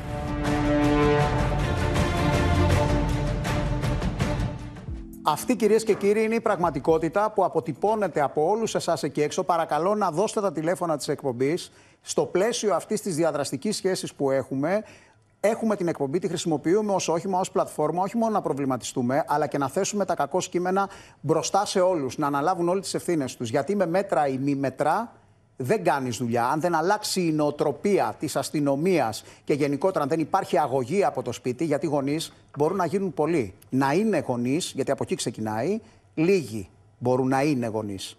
Λοιπόν, θέλω να υποδεχτώ στο πλατό μας ζωντανά τον κύριο Αναστάσιο Ντούγκα, τον γνωστό ποινικολόγο. Κύριε Ντούγκα, καλή σας ημέρα. Καλημέρα, Νάσο, καλημέρα σε όλους. Καλημέρα. Να υποδεχτώ επίσης με την ε, σειρά που τους βλέπω τον ε, κύριο Στέλιο Σούρλα, επίσης ποινικολόγο, ο οποίος μας τα είχε καταγγείλει από την προηγούμενη εβδομάδα ότι έστελνε πελάτες τους στα αστυνομικά τμήματα και τους διώχνανε οι αστυνομικοί χωρίς να υποβάλουν ε, καμία απολύτως μήνυση. Ο Σταύρος Μπαλάσκας, αστυνομικός αναλυτής, είναι επίσης ε, μαζί μας ε, σήμερα και περιμένουμε και τον ε, πρώην εισαγγελέα, τον κύριο Γιάννη Σακά, ο οποίος ε, έχει δικάσει ούκο λίγες τέτοιες υποθέσεις. Είναι ένας από τους εισαγγελείς που μαχητικός εισαγγελέας, ο οποίος για πάρα πολλά χρόνια τίμησε το δικαστικό σώμα, να μας πει και εκείνος την εμπειρία του. Πριν όμως ε, μπούμε στην ε, κουβέντα αναλυτικά, διότι εδώ, κύριε Μπαλάσκα, για μία ακόμα φορά αυτό που βγαίνει προς τα έξω, αυτό που εξάγεται και αυτό το περιδικαίου αίσθημα το οποίο τελικά πολλές γυναίκες δεν το νιώθουν συνολικά, είναι ότι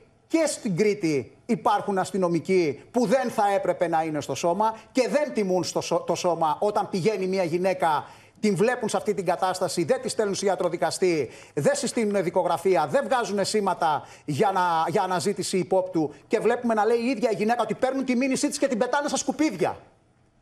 Είναι κομικοτραγικές αυτές οι καταστάσεις. Και για να λειτουργήσω επικουρικά, δείτε το επόμενο σας παρακαλώ ρεπορτάζ, να έχουμε μια πλήρη εικόνα για να γυρίσουμε στην κουβέντα μας.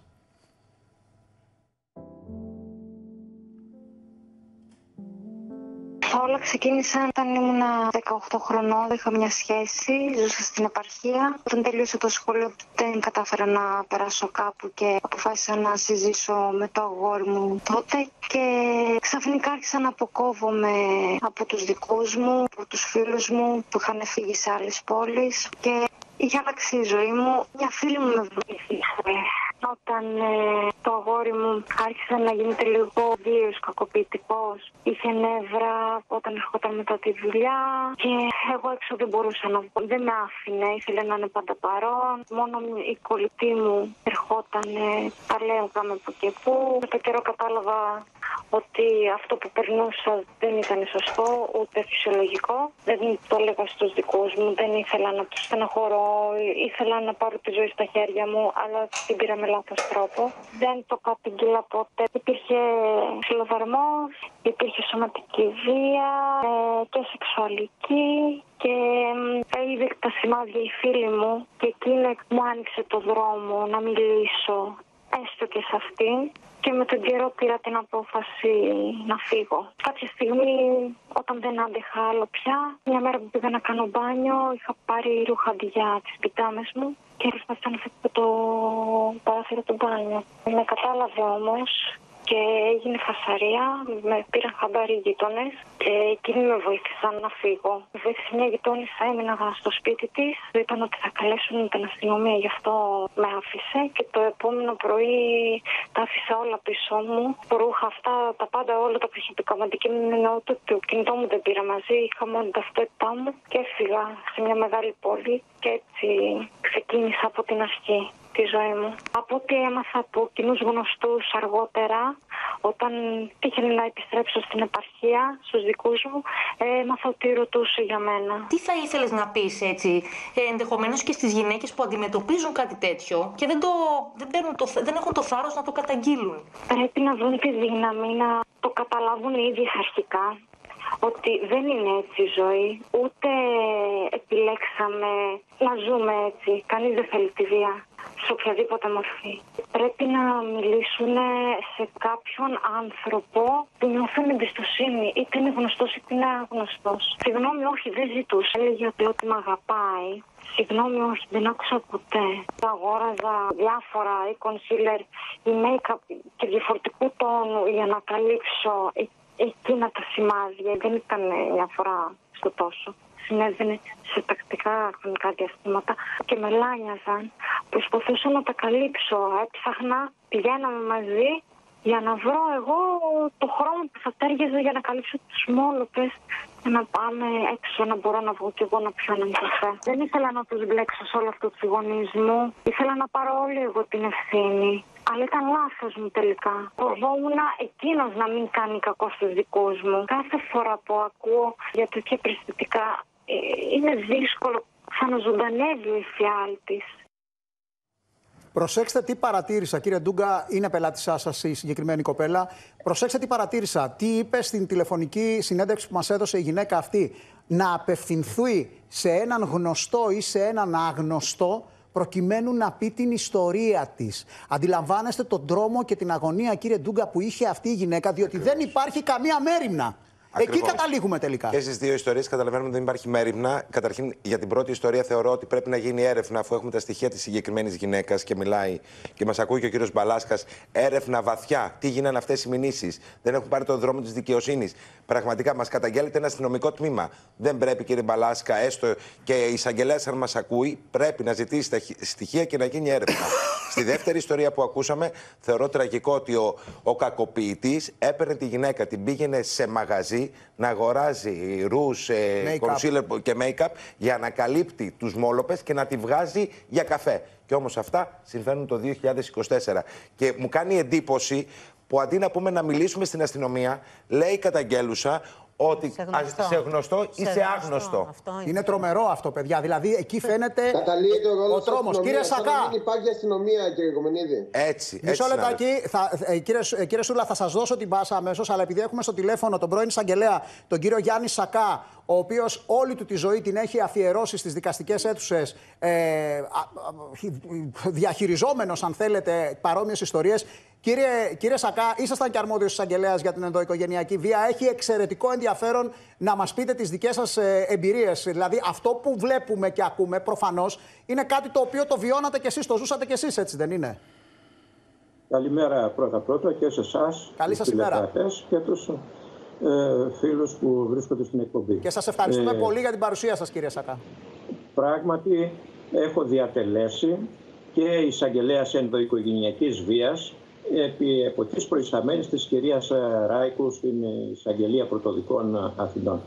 Και έχω, έχουμε δικάσει πολλές περιπτώσεις, αλλά έχω κάνει και προτάσεις στο Δικαστικό Συμβούλιο γιατί είχαμε ενδοοικογενειακή βία σε βαθμό κακουργήματος κατά ανηλίκων ή και ενδοοικογενική βία από αδελφό που έπασχε νοητικά κατά αδελφής στα λιώσια που ε, δεν έπαιρνε τα φάρμακά του, παραδείγματος χάρη.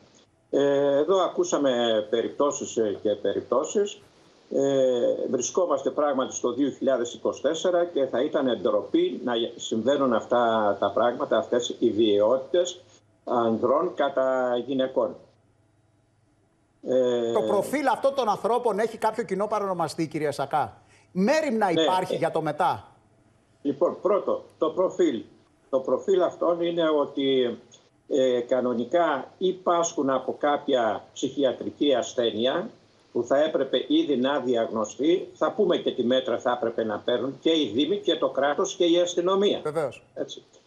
Ε, λοιπόν, το, το, το, ε, τα πρώτα αίτια που οδηγούν σε τέτοιες καταστάσεις είναι η ανεργία, η φτώχεια και όσο εντείνεται εδώ και με τα μνημονιακά μέτρα τόσο αυξάνεται. Γι' αυτό έχουμε τέτοια ε, Τα έπαρση κοινωνικά του διέξοδα φαινομένου. λέτε. Τα κοινωνικά διέξοδα. Τα, η τα καθημερινότητα είναι κοινωνικά δύσκολη. διέξοδα, φτώχεια. Μετά είναι το ποτο που μπορεί στο ποτό να οδηγεί τον άνδρα και η φτώχεια, βρίσκει μία διέξοδο.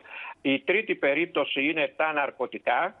Η τέταρτη βε- περίπτωση είναι ε, οι κακές κοινωνικές σχέσεις που η γυναίκα δεν έχει την τόλμη να βάλει ένα φραγμό. Δεν έχω ακούσει για Το- την ιερή ελληνική οικογένεια κάτι, κύριε Σακά. Την αγωγή, τον τρόπο που θα πρέπει οι γονείς Ναι. να μαθαίνουν στα παιδιά τους ότι υπάρχουν όρια και όταν λέμε όχι, μια γυναίκα είναι όχι.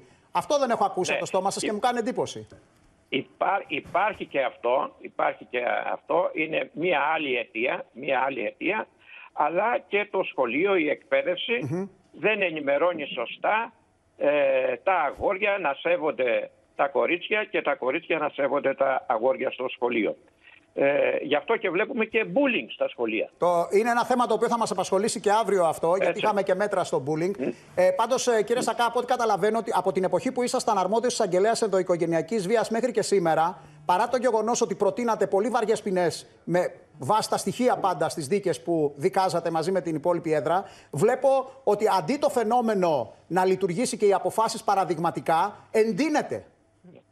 Δεν, δεν λειτουργούν τελικά οι ποινές Ε, και γι' αυτό... αυτό λέμε, η μέρημνα. δέστε, το ο- μετά. ο- Το μετά. Ο νόμος- και να σας, ο νόμος μισό λεπτάκι, γιατί- βάλτε μια ανωτελεία να πάμε στον κύριο Ναι. Σούρλα, διότι γι' αυτό δεν το λέω τυχαία. Έχει μια υπόθεση ο κύριος Σούρλας που διαχειρίζεται, που έχει γίνει, έχει κάνει την πελάτησά του η οικογένειά του ο κύριος Σούρλας, διότι τι συμβαίνει κύριε Σούρλα με τη δική σας υπόθεση, για πείτε μας. Κύριε Κομενίδη, ε, με παίρνει τηλέφωνο μια πελάτησά μου ε, Κυριακή, μία η ώρα το βράδυ, την είχε χτυπήσει ο, ο σύζυγός της. Εγώ την ε, προτρέπω να πάει στην αστυνομία. Πηγαίνει 2-3 η ώρα το βράδυ στην αστυνομία, ασκεί μήνυση, καταθέτει μήνυση. Και μετά από δύο μέρες, επειδή την επόμενη μέρα δεν μπορούσε να επικοινωνήσει μαζί της ο, εντολε, ο, ο άντρας Κακοποιητής. τη, αυτήν, αυτήν, ακριβώς, αυτήν είχε εξαφανιστεί, Όπως ήταν και λο- λογικό και επόμενο για να διαφυλάξει τη ζωή της. Από μόνη της δεν είχαμε κάποια μέρημνα κρατική. Από μόνη της και με την βοήθειά σας εξαφανίστηκε. Αν, αν ο πατέρας της δεν πήγαινε τα ξημερώματα να την πάρει από το σπίτι, τον οποίο επιτέθηκε και στον πατέρα, ε, θα την είχε σκοτώσει. Αν, αντέ αυτού, την ε, μεθεπόμενη μέρα ο ίδιος αυτοκτόνησε. Το βλέπετε; Ε, Το βλέπετε; Τρίτη περίπτωση. Δηλαδή αυτή η γυναίκα τώρα ηρέμησε, προσέξτε, ηρέμησε από τον κακοποιητή της, επειδή ο συγκεκριμένος αυτοκτόνησε. Αντίστοιχη περίπτωση με αυτήν στην Ικαρίας. Με αυτήν στην Γλυφάδα. Αντιλαμβάνεστε λίγο ποια είναι η πραγματική διάσταση της ελληνικής κοινωνίας. Έτσι και δεν είναι υπερβολή αυτό. Δεν το λέμε εμείς. Το λένε οι δικηγόροι και το λένε και τα θύματα. Πρέπει να ξυπνήσουμε κάποια στιγμή, να τα δούμε διαφορετικά τα πράγματα. Για Η μένα δεν αστυνομία υπάρχει- πώς δεν υπάρχει λειτουργήσε; αστυνομία, Δεν υπάρχει αστυνομία. Μπράβο, εκεί θέλω να Εκεί- πάω. Εκεί δεν υπάρχει πρόληψη και αστυνομία. Τώρα τι κρυβόμαστε; Ελάτε κύριε Σουρλά. θα, θα, πρέπει, θα πρέπει ορισμένοι άντρες, εντός εισαγωγικών άντρες, να καταλάβουν ότι αυτό δεν είναι αντρισμός ούτε επίδειξη μαγιάς. Είναι ανανδρεία το να σηκώνουν το χέρι τους και να χτυπούν τη σύντροφό τους. Ε, δεν, είναι καν, κα- δεν σημαίνει τίποτα. Δεν επιβεβαιώνει κανένας, ε, δεν επιβεβαιώνει τον ανδρισμό τους. Αντιθέτως.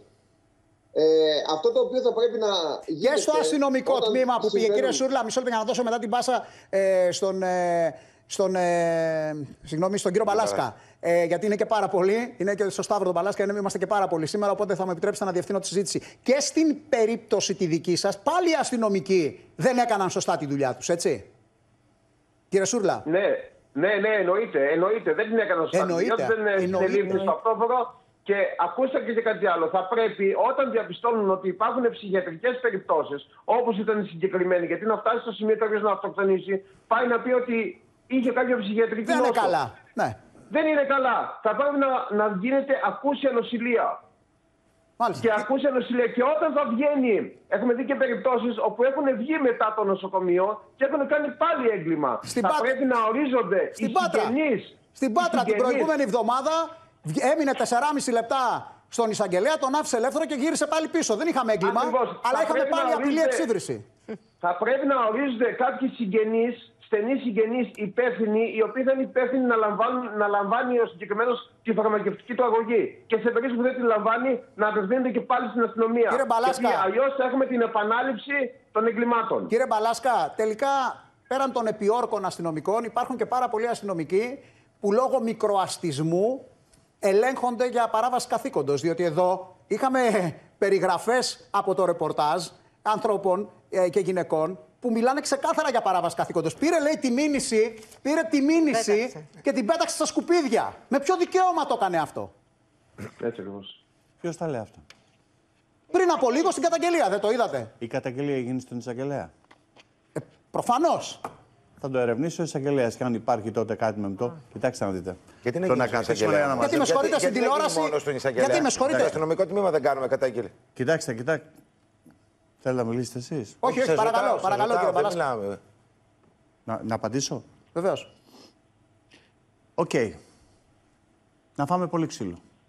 Το αξίζουμε. Εξαιτίας μας χάθηκε μια γυναίκα. Χάθηκε και άλλη γυναίκα εξαιτίας μας Σαλαμίνα. Χάθηκε και άλλη γυναίκα εξαιτίας των αστυνομικών στη Δάφνη. Όποιος έχει πέτρα μπροστά του, ας την πάρει και ας τη ρίξει τώρα. Θα ξέρετε όμως κάτι Δεν όλοι. είναι έτσι όμως, μην το γενικεύετε. Αφήστε με να ολοκληρώσω. Ο κύριε αστυνομικός Γουμενίδη. της Εσείς όποια το σταμάτησε γενικεύετε με την πέντε- κακοποίηση στην Εσείς Γλυφάδα. το Όχι, μην το γενικεύετε. γενικεύετε, Κύριε- μην θυματοποιήσετε κύριε Γου- τώρα. Κύριε Γουμενίδη, να Μα σας κύριε πω- Μπαλάσκα, μην να σας πω θυματοποιήσετε, κάτι. σας παρακαλώ. Δεν μπορούμε να πυροβολάμε τώρα. Δεν πυροβολάω όλη την ξαφνικά. αστυνομία. Πυροβολάω συγκεκριμένους ανθρώπους, δεν του πυροβολάω εγώ. Στις συγκεκριμένες περιπτώσεις που ανέφερε η πρώτη κυρία. Ναι. Για τις άλλες. αυτό που έγινε με το κοριτσάκι με ένα με συντάραξε που την πήγαινε τώρα να αγοράσει μπογιά, τώρα για τι μόλεπες. Δηλαδή, εντάξει, αυτά είναι καταπληκτικά. Δεν το συζητάω. Για τις πρώτες, η πρώτη κυρία. Δεν μπορούμε κάτι στην Ελλάδα. Εγώ θα πω τώρα, παραδείγματος χάρη, πριν αρχίσει η εκπομπή, ο Γουμενίδης ε, έδιρε μία συνεργάτη του μπροστά μου. Θα πάω να το καταθέσω τώρα που φεύγω της από εδώ στον εισαγγελέα. Έχω αποδείξεις; Πώς; Έτσι θέλω εγώ να πάω να το καταθέσω. Δίδατε μια συνεργάτη σας. Τελείωσε. Πάω να το καταθέσω αύριο το πρωί στον εισαγγελέα. Ο καθένας δεν μπορεί να το κάνει αυτό.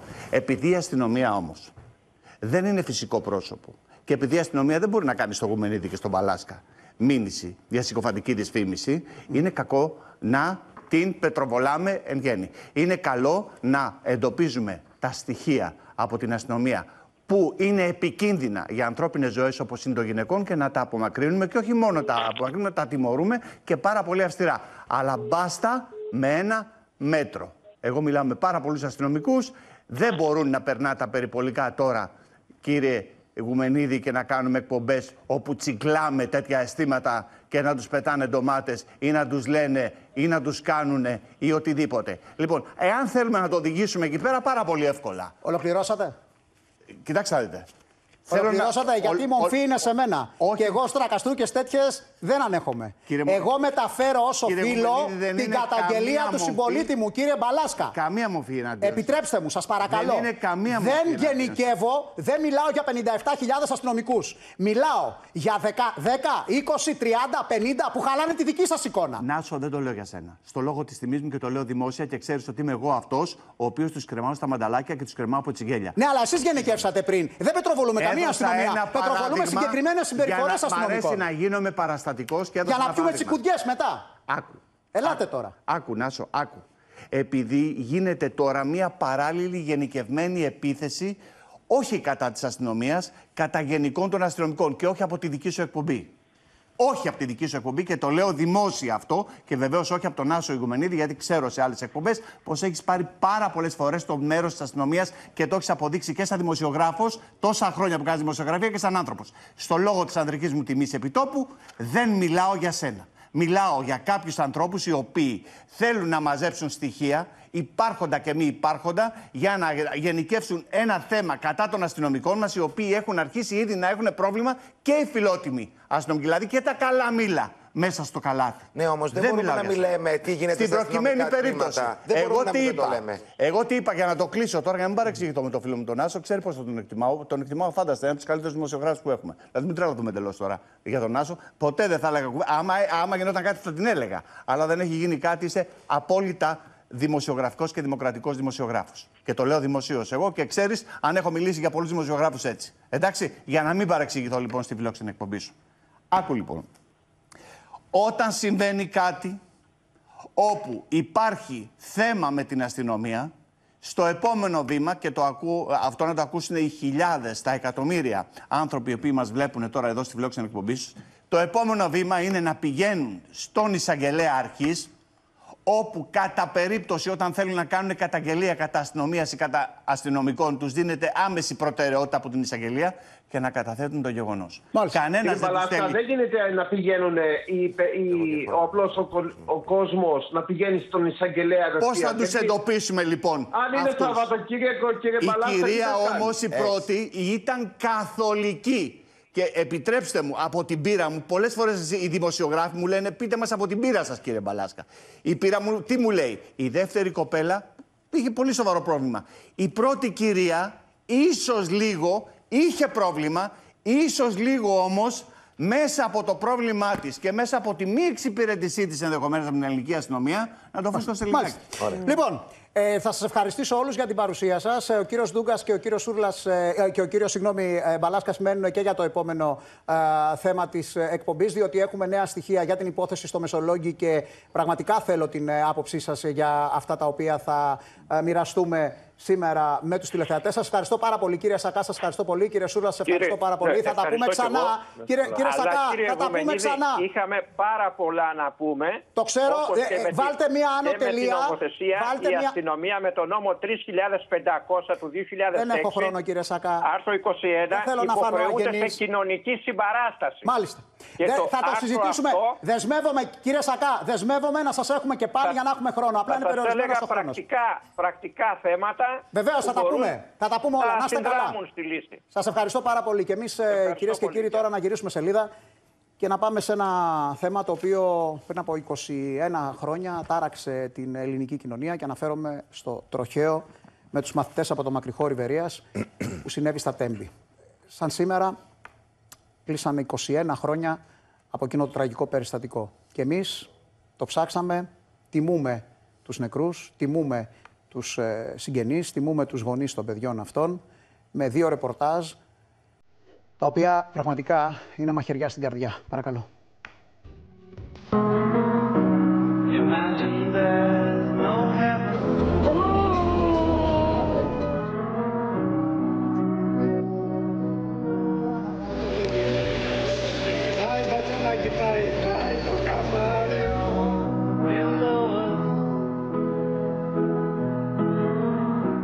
85 άνθρωποι συνολικά άφησαν την τελευταία τους πνοή σε αυτή την κοιλάδα. 85 ψυχές που πέταξαν απροσδόκητα και άδικα, μακριά από την αγκαλιά των μανάδων τους.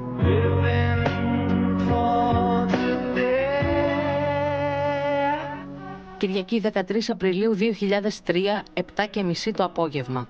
Ακριβώς 23 χρόνια πριν, ο χρόνος σταματά στη ματωμένη κοιλάδα. 21 μαθητές που επέστρεφαν στο μακροχώρι Μαθίας από σχολική εκδρομή στην Αθήνα χάνουν τη ζωή τους σε ένα από τα τρομακτικότερα δυστυχήματα που έγιναν ποτέ στην Ελλάδα.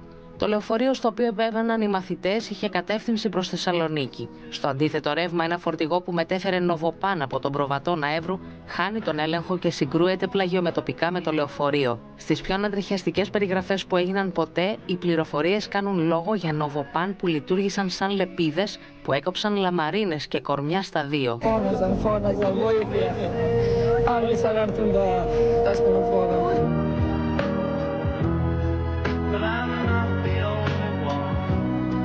Για δύο ολόκληρες ώρες τα σωστικά συνεργεία θα προσπαθήσουν να απεγκλωβίσουν τους άτυχους μαθητές. Οι αιτίες της σύγκρουσης δεν θα γίνουν ποτέ 100% σαφείς. Ο οδηγός του φορτηγού οδηγούσε 6 ώρες αδιάκοπα και τα ελαστικά δεν ήταν σε καλή κατάσταση. Από την άλλη, το λεωφορείο είχε κριθεί ακατάλληλο λόγω παλαιότητος και έπρεπε να είχε αποσυρθεί τουλάχιστον τρεις μήνες πριν.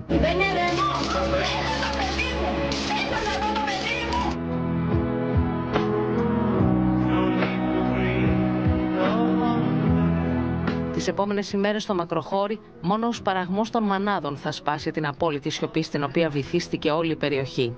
21 μαθητές οδηγούνται στην τελευταία τους κατοικία και χιλιάδες άλλοι τους συνοδεύουν. Βράδυ, βράδυ, σε θυμάμαι. Νύχτα, νύχτα, σ' αγαπώ. Με τη σκέψη σου κοιμάμαι.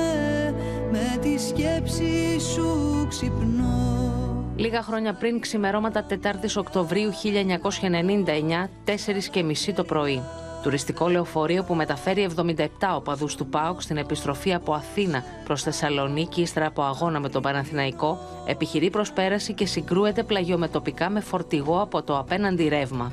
Το λεωφορείο εκτρέπεται της πορείας του και πέφτει σε χαράδρα 8 μέτρων έξι οπαδοί και ο 68χρονος οδηγός του φορτηγού χάνουν ακαριέα τη ζωή τους. Βγήκαμε, σπάσαμε παράθυρα, βγήκαμε, βρήκαμε μια καρέκλα, σπάσαμε παράθυρα, βγάλαμε όσο μπορούσαμε και από εκεί μετά. Εκεί που σταμάτησε για πάντα ο χρόνος στήθηκε ένα μνημείο για να θυμίζει ότι ένας από τους πιο ταξιδιάρικους οπαδικούς λαούς της χώρας θα είχε για πάντα έξι λιγότερους οπαδούς στις εξέδρες. Αεράκι φύσηξε με, κάνε με πανήλευκο. Το βράδυ της 28 Φεβρουαρίου 2023 στις 11 και 21 το βράδυ, ο επιβατικός σειρμός Intercity 62 με περισσότερους από 350 επιβάτες εκτελεί τη διαδρομή Αθήνα-Θεσσαλονίκη. Στο ύψος του οικισμού Ευαγγελισμός συγκρούεται με τοπικά με την εμπορική αμαξοστοιχεία 63503 που εκτελούσε το δρομολόγιο Θεσσαλονίκη-Λάρισα.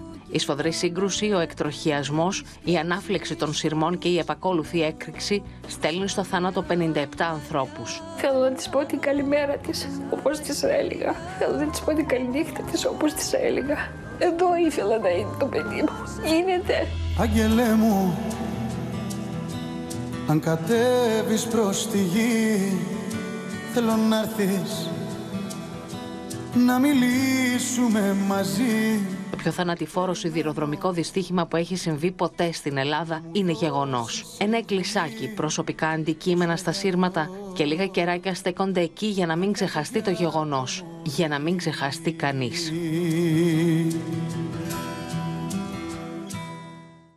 Ένας, ε, ένας πανέμορφος τόπος, η κοιλάδα των Τεμπών, ο οποίος όμως είναι ένας ματωμένος ε, τόπος και εκεί θα πάμε τώρα ζωντανά να συνδεθούμε με τον καλό συνάδελφο, τον Αλέξανδρο Χατζιπλή, ο οποίος είναι ζωντανά ε, στο σημείο. Αλέξανδρε μου, καλημέρα. Ε, φαντάζομαι ότι και εσύ, επειδή είσαι εκεί γηγενής, είσαι από την ε, Λάρισα, ε, το έχεις βιώσει, το έχεις καλύψει σε επίπεδο ρεπορτάζ. Σαν σήμερα ε, συμπληρώνονται 21 χρόνια από εκείνο το τραγικό ε, τροχαίο δυστύχημα που πετσόκοψε ζωές από ένα ολόκληρο χωριό. Ε, Τι είναι αυτό που βλέπουμε σήμερα στα Τέμπη, τι είναι αυτό, ποια είναι η αίσθησή σου; Έχεις δει κάποιους συγγενείς εκεί, έχεις δει κάποιους ανθρώπους οι οποίοι έχουν έρθει για να τιμήσουν ε, τις απώλειές τους; Δεν μας ακούει ο Αλέξανδρος. Ωραία, δεν μας ακούει από ό,τι καταλαβαίνω από τα. Από την... Θα παρακαλέσω τους συναδέλφους τεχνικούς να ανεβάσουμε την επιστροφή. Δεν, δεν ακούγεται δυστυχώς. Ωραία, παιδιά, ε, να, να συνδεθούμε, να προσπαθήσουμε να συνδεθούμε ξανά με τον Αλέξανδρο σε λίγο, να αποκαταστήσουμε, Ναι, ναι, Να αποκαταστήσουμε την επικοινωνία και εμείς να πάμε ε, να δούμε τι έγινε μετά. Τι συνέβη μετά με τους ανθρώπους αυτούς. Δηλαδή, τι συνέβη με τις οικογένειές τους, τι συνέβη με κάποιους εκ των συμμαθητών των παιδιών αυτών που χάθηκαν, τι συνέβη με τους ίδιους. Η επικαιρότητα δυστυχώς για το Μακρυχώρι και μετά το τραγικό τροχαίο ήταν πλούσια με πρωταγωνιστές κάποια από αυτά τα παιδιά. Παρακαλώ.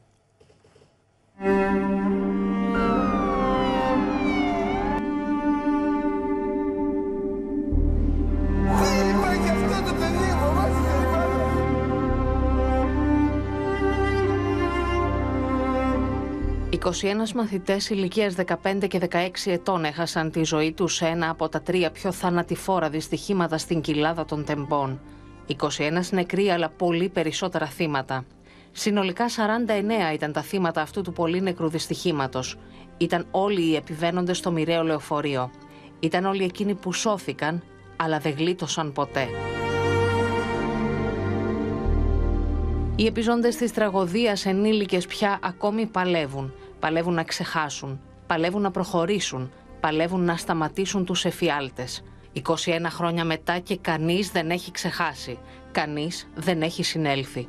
Το ψυχολογικό κόστος της τραγωδίας θα φανεί με ακόμη πιο τραγικό τρόπο όταν 19 χρόνια μετά την τραγωδία ένας από τους επιζώντες μαθητές, ο 35χρονος Ανέστης, θα βάλει τέλος στη ζωή του με δίκανη καραμπίνα μέσα στο σπίτι του. Οι οικοί του θα πούν πως ποτέ δεν μπόρεσε να ξεπεράσει τον τραγικό θάνατο των συμμαθητών του και τη φρίκη που βίωσε και ο ίδιος ως επιβάτης του μοιραίου λεωφορείου. Εκείνο που τον οδηγεί στο απονενοημένο όμως είναι η ενοχή ότι εκείνος έμεινε πίσω. Τον Ιανουάριο του 2023 η χώρα θα παγώσει από την είδηση πως μία μητέρα από το μακροχώρι Μαθίας σκοτώνει το 6,5 μηνών βρέφος της. Η τραγική μητέρα ήταν μαθήτρια της τάξης του 2003. Από εκείνο το βράδυ αντιμετωπίζει ψυχολογικά προβλήματα. Μάλιστα από τότε μέχρι και σήμερα λαμβάνει αγωγή προκειμένου να μπορέσει να ανταπεξέλθει στους εφιάλτες, στο κενό και την απώλεια.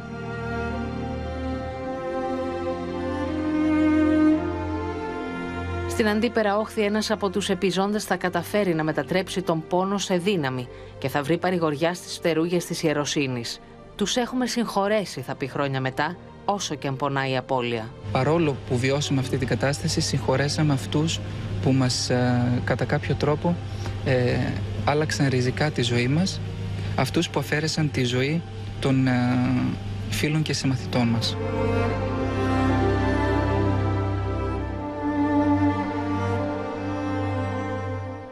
Γλίτωσαν από το τροχαίο, αλλά δεν το ξεπέρασαν ποτέ. Έχουμε Πάμε να παγώσει. συνδεθούμε με τον Αλέξανδρο Χατζιπλή. Έχω την αίσθηση ότι έχει αποκατασταθεί η επικοινωνία μας. Ο Αλέξανδρος είναι ζωντανά από το σημείο. Αλέξανδρε μου, καλημέρα. Σε ευχαριστούμε πάρα πολύ για την παρουσία σου στην ε, εκπομπή. Δύσκολη μέρα σήμερα, πολύ έτσι. Καλημέρα σε όλους. Πράγματι, πράγματι να είναι μια δύσκολη μέρα, μια μέρα που κανείς δεν θέλει να θυμάται, που κανείς όμως δεν μπορεί να ξεχάσει. Πώς να ξεχάσει άλλωστε αυτά τα 21 παιδιά που πραγματικά θυσιάστηκαν σε αυτό το μέρος, εδώ που βρισκόμαστε λίγα μέτρα ε, πιο δίπλα από το σημείο της τραγωδίας αυτής, σε αυτό το πολύ νεκρό δυστύχημα. 21 παιδιά τα οποία επέστρεφαν από μια τριήμερη εκδρομή. Μια τριήμερη εκδρομή στην Αθήνα που έμελε να ήταν η τελευταία τους και με- έπειτα να ακολουθήσουν το πιο μακρινό ταξίδι. Ήταν όλοι τους συμμαθητέ πρώτης Λυκείου από το μακροχώρι της ε, Ημαθία. Μαθητές οι οποίοι, όπως καταλαβαίνουμε όλοι, σε αυτές τις εκδρομές γυρνούσαν γεμάτοι αναμνήσεις, γεμάτοι χαρά, γεμάτοι δώρα για τους οικείους τους, τα οποία δεν μπόρεσαν ποτέ να δώσουν σε αυτούς. Εδώ λοιπόν ο χρόνος σταμάτησε για αυτά τα παιδιά. Να πούμε λίγο το χρονικό της ιστορίας. Πώς έγινε όλη αυτή η τραγωδία. Λοιπόν, δυστυχώς το λεωφορείο το οποίο, στο οποίο επέβαιναν φαίνεται πω αντιμετώπιζε, είχε κάποια προβλήματα. Όπως τα λάστιχα, τα οποία φαίνονταν ότι είχαν φθορά. Όπως το ίδιο το λεωφορείο, το οποίο έπρεπε να αντικατασταθεί. Λόγω παλαιότητας. Κάτι τέτοιο όμως δεν έγινε, δεν το γνώριζαν οι ίδιοι φυσικά, ούτε οι γονείς τους. Αλλιώς δεν θα άφηναν τα παιδιά τους να, ε, να ε, πάνε σε αυτή την εκδρομή, αυτή τη μοιραία εκδρομή. Σε αυτό λοιπόν το σημείο που βρισκόμαστε, λίγα μέτρα πιο δίπλα, στο 38-28 χιλιόμετρο της Εθνικής Οδού, αυτό το ε, μοιραίο λεωφορείο συγκρούστηκε με ένα φορτηγό. Το φορτηγό το οποίο μετέβαινε από τον προμαχώνα του Εύρου, μετέφερε νοβοπάν, μετέφερε μελαμίνες, ε, τα οποία ήταν τόσο. Τα οποία εισχώρησαν ε, ε, Αλέξανδρε, δυνατά. μέσα στο λεωφορείο, κόψανε το λεωφορείο στη μέση. την οροφή του λεωφορείου. Έκοψαν, ναι, έκοψαν, ένα, ε, έκοψαν ε, τα κολονάκια του λεωφορείου όλα με αποτέλεσμα να πέσει η οροφή. Το σίγουρο είναι ότι εκεί υπάρχει το μνημείο. Δεν ξέρω αν ε, είσαι αυτίκο αυτό της Μάρτης ε, κάποιων συγγενών που προφανώς έχουν έρθει σήμερα να αφήσουν κάποια ε, λουλούδια σε αυτό το Να- πλαίσιο της να που- μαύρης επαιτίου που βιώνουμε σήμερα. Να πούμε, Νάσο, ακριβώς πω σε λίγη ώρα θα φτάσουν συγγενείς, γιατί ε, θα ακολουθήσει ένα μνημόσυνο, ένα θεσάγιο στη μνήμη αυτών των παιδιών. Ε, Δυστυχώς ε, για αυτούς ο χρόνος σταμάτησε μαζί με τα παιδιά τους. Μαζί με τα 21 παιδιά, στα οποία, στα οποία όμως προσθέθηκε και ένας ακόμη αριθμός και είναι 22 αυτοί οι νεκροί, διότι πριν από δύο χρόνια, το καλοκαίρι το 2022, ένας 35χρονο τότε μαθητής ή μαθητής αυτών των παιδιών έβαλε τέλος στη Μάλιστα. ζωή τους. Αλέξανδρε Στη ζωή μου, τους. σε ευχαριστούμε Να πάρα πούμε πολύ. Ε, ε, να κλείσουμε, γιατί δεν έχουμε πάρα πολύ χρόνο. Σε ευχαριστούμε ναι. πάρα πολύ για την ε, παρουσία σου. Ε, έχω την εντύπωση ότι εκεί τόσο η Κοιλάδα των Τεμπών αλλά και η Λάρισα ε, γεννά πολλές φορές θέματα τα οποία απασχολούν την εκπομπή μας και θα είμαστε πλέον από τώρα και στο εξής διαρκώς σε επικοινωνία προκειμένου να μας δίνεις εσύ το στίγμα σου και το ρεπορτάζ σου. Σε ευχαριστούμε πάρα πολύ για την παρουσία σου στην εκπομπή μας ε, σήμερα. Καλή συνέχεια στο ρεπορτάζ. Ε, και εμείς ε, κυρίες και κύριοι να γυρίσουμε σελίδα και να πάμε πολύ πολύ γρήγορα ε, σε περιβάλλον προσφορών καθώς αύριο στις ε, περίπου μία παρατέταρτο ε, θα ανακοινώσουμε τον νικητή, την νικήτρια για τα 500 ευρώ μετρητά που δίνει η εταιρεία Viocarbet. Ε, Η διαδικασία είναι πάρα πολύ απλή. Τηλεφωνείτε στο 14800, αφήνετε τα στοιχεία σας ή στέλνετε γραπτό μήνυμα ΕΤΑΦ κενό, όνομα τεπώνυμο στο 14800. Η Viocarbet ε, έχει εισάγει στην αγορά για να εξυπηρετεί τους πελάτες της ε, καθαρισμό και φύλαξη χαλιών στους νομούς Αττικής και Θεσσαλονίκης. Δηλαδή αφήνετε τα χαλιά σας στην Viocarbet με εμπιστοσύνη, τα καθαρίζουν, τα φιλούν και εκεί γύρω στον Σεπτέμβριο-Οκτώβριο, όποτε θέλετε να ντύσετε το σπίτι σας με χαλιά, τηλεφωνείτε με τη Viocarbet και επιστρέφουν τα χαλιά στο σπίτι σας καθαρά και ε, φυλαγμένα. Η διαδικασία λοιπόν για τα 500 ευρώ είναι απλή. Τηλεφωνήστε στο 14800, αφήστε τα στοιχεία σας ή στείλτε γραπτό μήνυμα ΕΤΑΦ κενό, όνομα τεπώνυμο στο 14800. Πάμε στο τρίτο μας διαφημιστικό διάλειμμα, κυρίες και κύριοι, αμέσως τώρα. Επιστρέφουμε γιατί έχουμε εξελίξεις, έχουμε ρεπορτάζ, έχουμε στα χέρια μας στοιχεία από την άρση των τηλεφωνικών επικοινωνιών των εμπλεκομένων στην δολοφονία του Μπάμπη Κούτσικου. Τα στοιχεία είναι καθηλωτικά, είναι πολύ αποκαλυπτικά και θα τα μοιραστούμε μαζί σας σε περίπου 5 λεπτά από τώρα, γι' αυτό μείνετε στο Open.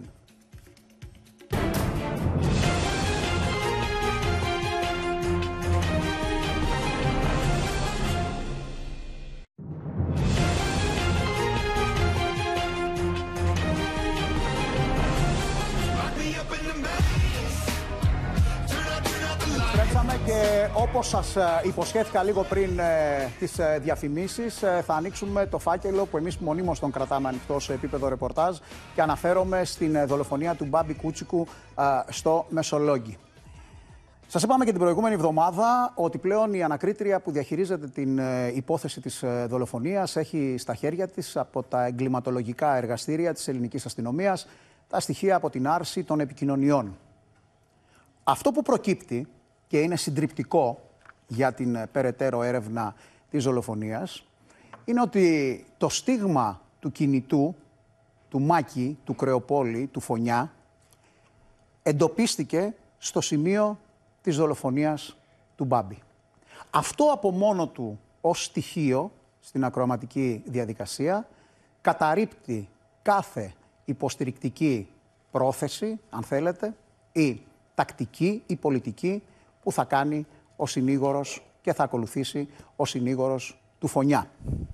Αυτό που προκύπτει επίσης από έγγραφα και από τις τηλεφωνικές έτσι, επικοινωνίες είναι ότι εμπλέκονται, όπως σας είχαμε πει πρώτοι, κι άλλοι στην υπόθεση. Εμπλέκονται σε βαθμό συνέργειας, εμπλέκονται σε βαθμό κάλυψης του φωνιά. Αυτό είναι κάτι το οποίο θα προκύψει το επόμενο διάστημα, καθώς η ανακρίτρια είναι διατεθειμένη να καλέσει όλους τους εμπλεκόμενους για περαιτέρω καταθέσεις. Το πιο σημαντικό στοιχείο που επιβεβαιώνει το ρεπορτάζ μας και το οποίο ρεπορτάζ μας ο Γιώργος Καλιακμάνης το είχε και εκείνος επιβεβαιώσει με τον τρόπο του και με την εμπειρία του, είναι ότι ο Μπάμπης Κούτσικος δέχτηκε μία σφαίρα σε απόσταση 5 μέτρων από το σημείο που βρισκόταν ο Φωνιάς στο σημείο που βρισκόταν ο Μπάμπης. Τη σφαίρα την έφαγε πίσω και αριστερά. Ήταν αυτό το ένα φυσίγγι το οποίο βρέθηκε στο σημείο της δολοφονίας. Θα ήθελα να υποδεχτώ τόσο τον ε, Γιώργο Καλιακμάνη που τον έχουμε ζωντανά και τον ε, κύριο,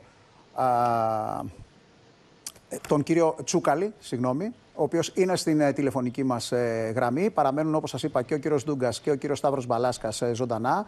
Κύριε Τσούκαλη, ξεκινάω από εσά, διότι είστε ο άνθρωπος που έχει πάρει την εντολή από την οικογένεια να ερευνήσει και να βοηθήσει στην έρευνα. Φαίνεται ότι τόσο από το στίγμα του κινητού του Φωνιά, αλλά κυρίως για τα πρόσωπα που εμπλέκονται, να επιβεβαιώνεστε. Το λέγατε, το λέγατε ε, πολύ έτσι προσεκτικά, αλλά φαίνεται ότι πλέον από τα στοιχεία προκύπτουν και άλλοι ότι εμπλέκονται στη δολοφονία. Ε, κύριε Γουμενίδη, είχα πει από τις πρώτες μέρες ότι η υπόθεση αυτή δεν χρειάζεται να είναι κανείς ούτε κλιματολόγος, ούτε αστυνομικός συντάκτης, ούτε ερευνητής. Ε, φώναζε εκοφαντικά. Είναι ορισμένα πράγματα που φωνάζουν εκοφαντικά. Έχουμε λοιπόν μια συνέχεια στο γαϊτανάκι από τα ψεύδη του Κρεοπόλη και στη φαρέτρα μας πλέον ε, έχουμε και την ε, άρση του απορρίτου που δίνει ένα επιπλέον στοιχείο για το γεγονός ότι ο συγκεκριμένος άνθρωπος από τις πρώτες του καταθέσεις μέχρι τις τελευταίες μέχρι και αυτή που θα ακολουθήσει ή αυτές που θα ακολουθήσουν, τις συμπληρωματικές, λέει μόνο ψέματα. Και αποδεικνύεται περίτρανα με την άρση του απορρίτου, διότι είναι κάτι το οποίο δεν μπορεί να το αμφισβητήσει κανείς.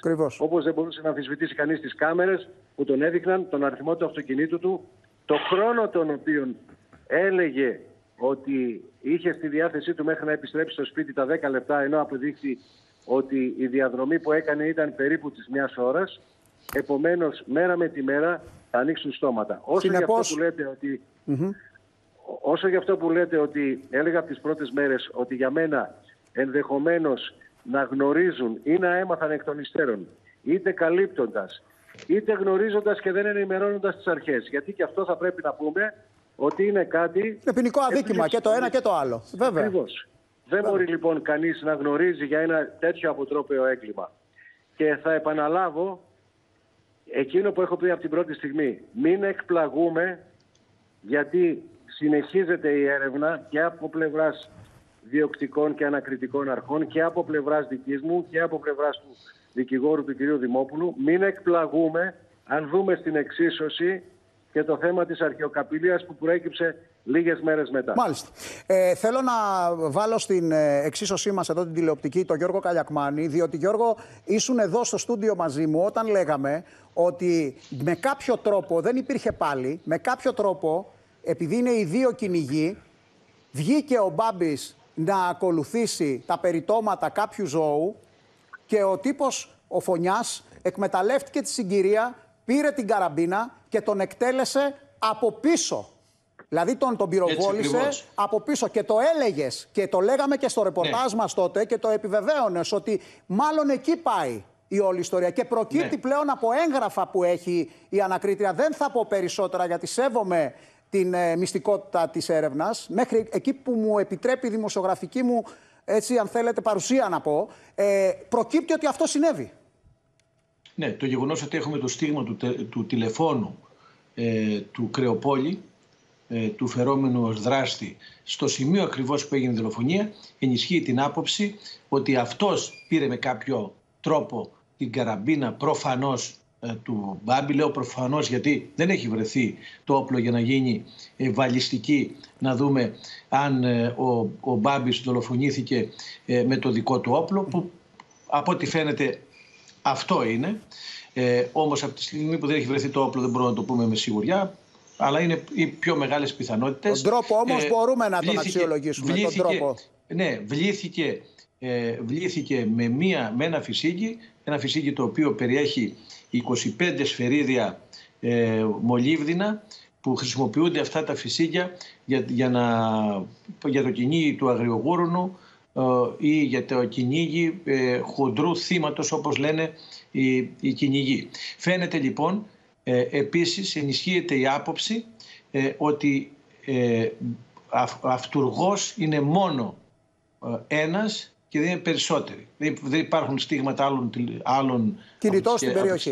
άλλων τηλεφώνων κινητών στην περιοχή, δηλαδή στο σημείο ε, της δολοφονίας. Τώρα, αν κάποιος γνώριζε ή αν είχε... Υπάρχουν κάτι περίεργα μηνύματα, ή, αγαπητέ Γιώργο; ναι, ναι, Υπάρχουν ναι, κάτι ναι, περίεργα αυτό, μηνύματα, αυτό θέλω να πω. Ναι, αν κάποιος γνώριζε, αν ε, ή αν ήταν έμεσος συνεργός με, με οποιοδήποτε τρόπο ε, ή αν υπάρχει υπόθαλψη εγκληματία, δηλαδή αν γνώριζε κάποιος και κατόπιν, αν έμαθε κατόπιν. Μπορεί να μην γνώριζε πριν, να έμαθε κατόπιν με κάποιο τρόπο, ξέρεις, να είπε ο, ο φερόμενος ο δράστης ή ο δράστης, τέλος πάντων, να είπε ότι εγώ τον σκότωσα και κάποιος δεν τον καλύπτει. Γιατί αυτό είναι υπόθαλψη ε, εγκληματία και ε, που διώκεται ε, ποινικά φυσικά. Αυτό είναι υποδιερεύνηση. Πάντως φαίνεται ότι η δολοφονία έγινε στο σημείο όπως είχα πει αρχικά. Ε, η απόσταση ήταν ε, από μέχρι 10 μέτρα. Πέντε είναι τελικά, τρία, προκύπτει ότι είναι πέντε, τα μέτρα. Είναι πέντε τελικά, άρα πέσαμε μέσα σε αυτό ε, και πέσαμε μέσα φυσικά στο γεγονός ότι σύμφωνα με, την πρω... με τις πρώτες έρευνες της ελληνικής αστυνομίας ε, πριν ακόμα πάρει το στίγμα, πάρει τη, ε, τα αποτελέσματα του ΙΔΕ, έδειχναν ότι ένας είναι ε, ο δολοφόνος. Εδώ λοιπόν, κύριε Καλιακμάνη, εδώ λοιπόν γιατί αναδεικνύουμε τη δουλειά της αστυνομίας και την αναδεικνύουμε πάντα τη δουλειά της αστυνομίας όταν αυτή γίνεται σωστά, τυπικά και σύμφωνα με το πρωτόκολλο Συμφωνούμε. και με την έρευνα. Εδώ λοιπόν, κύριε Ντούγκα, η ελληνική αστυνομία έκανε την δουλειά της στο ακέραιο Έτσι και να. βοήθησε τις δικαστικές αρχές. Έτσι να σου. Και πριν, πριν ο κύριος Μπαλάσχας εκνευρίστηκε. Εγώ πραγματικά, όποτε η ελληνική αστυνομία και όλοι μας εδώ πέρα δεν υπάρχει αμφισβήτηση, κάνει σωστά τη δουλειά της, πάντα το λέμε και το επιβραβεύουμε. Αλλά κύριε Μπαλάσκα, μια και είστε εδώ, θα επανέλθω σε εσάς και θέλω να πω το εξής. Σας προκαλώ, εγώ, εσείς και ο Νάσος, να πάμε στην ελληνική επαρχία με κάμερα να δείτε στα αστυνομικά τμήματα. Γιατί αν δείτε τώρα τι μηνύματα παίρνουμε, που πάνε γυναίκες να καταγγείλουν δούμε τι εννοείται. ενδοκογενειακή βία. Να πάμε, αλλά να, να δούμε δούμε τι. λοιπόν, Ποια είναι να η δούμε επιθυμία λοιπόν τι ακριβώς γίνεται και πώς οι γυναίκες φεύγουν από τα αστυνομικά τμήματα που οι αστυνομικοί δεν γνωρίζουν πώς πρέπει να χειριστούν αυτές τις υποθέσεις Ναι. και τις θέλουν να πάει, είναι Σάββατο, να πάει στην εισαγγελία, στην εισαγγελία τη Δευτέρα, την Τρίτη και ούτω καθεξής. Σας προκαλώ πραγματικά και αν θέλετε Αν μου να τα λέμε. επιτρέπετε, Ναι, κύριε Σηκώνω. Καλαμάνη. αν μου επιτρέπετε, αν μου επιτρέπετε ε, εγώ θα πω ότι θα πρέπει οι αστυνομικοί ε, να εκπαιδευτούν περισσότερο γιατί αυτό το περιστατικό με το ΑΤΑΦ ε, Αγίων Αργύρων έδειξε Δεν είναι μόνο ότι αυτό, κύριε η Γαλαμάνη. συγκεκριμένη Ήσασταν στο αστυνομική- αεροδρόμιο. η αστυνομική- Γιώργο, η- Γιώργο, ακούστε, Γιώργο, η- Γιώργο, Ένα λεπτό Σταύρο, επέτρεψέ να το- μου να να, σου πω ολοκληρώσω. κάτι για να ολοκληρώσεις Να τη σκέψη ολοκληρώσω. σου σε αυτό που Ναι, έχει αλλά που αν θες να δεν αποδώσεις. ολοκληρώσω, δεν Ναι, ναι, αλλά, Επέτρεψέ μου. Σταύρο, ένα λεπτό να- να Έχουμε- τελειώσει ο Γιώργος. Έχουμε 11 επιθέσεις, Γιώργο, μέχρι αυτή τη στιγμή που μιλάμε εδώ στη φιλόξενη εκπομπή του κ. Γουμενίδη, σε αστυνομικούς. Πετάξανε ντομάτες και τους φωνάζανε Εσείς σκοτώσατε την Κυριακή. Ήδη έχει Ξέρετε αρχίσει γιατί. Γιατί να κάποιοι- δημιουργείται ναι. ένα κλίμα που δεν πρέπει, Έτσι. Γιώργο, να δημιουργείται για τους συναδέλφους μας. Συμφωνώ απόλυτα. Αυτό Ναι, λοιπόν, αν, μα- αν με αυτό αφήσεις λοιπόν να θα πρέπει τελειώσω, να το σταματήσουμε τώρα, Σταύρο, Γιώργο, γιατί αν θα πάρει μεγάλη αν- έκταση. ναι, αν- κατάλαβες, αν, μα- αν με αφήσεις να ολοκληρώσω, αν Ναι, με αφήσεις Γιώργο να μου, ναι. ολοκληρώσω όμως θα Ο- καταλάβεις. αλλά να το θα ξέρεις καταλάβεις. αυτό. Έχουμε λοιπόν, 11 ακούστε επιθέσεις. να δεις. Θέλει εκπαίδευση. Δεν μπορεί να αφήνεις μια κοπελίτσα 22 χρονών σε Μπράβο. ένα αστυνομικό τμήμα να κάνει τον αξιωματικό υπηρεσία μόνη, τους, Μπράβο, μόνη Γιώργο. της, με εμπειρία ενό έτου.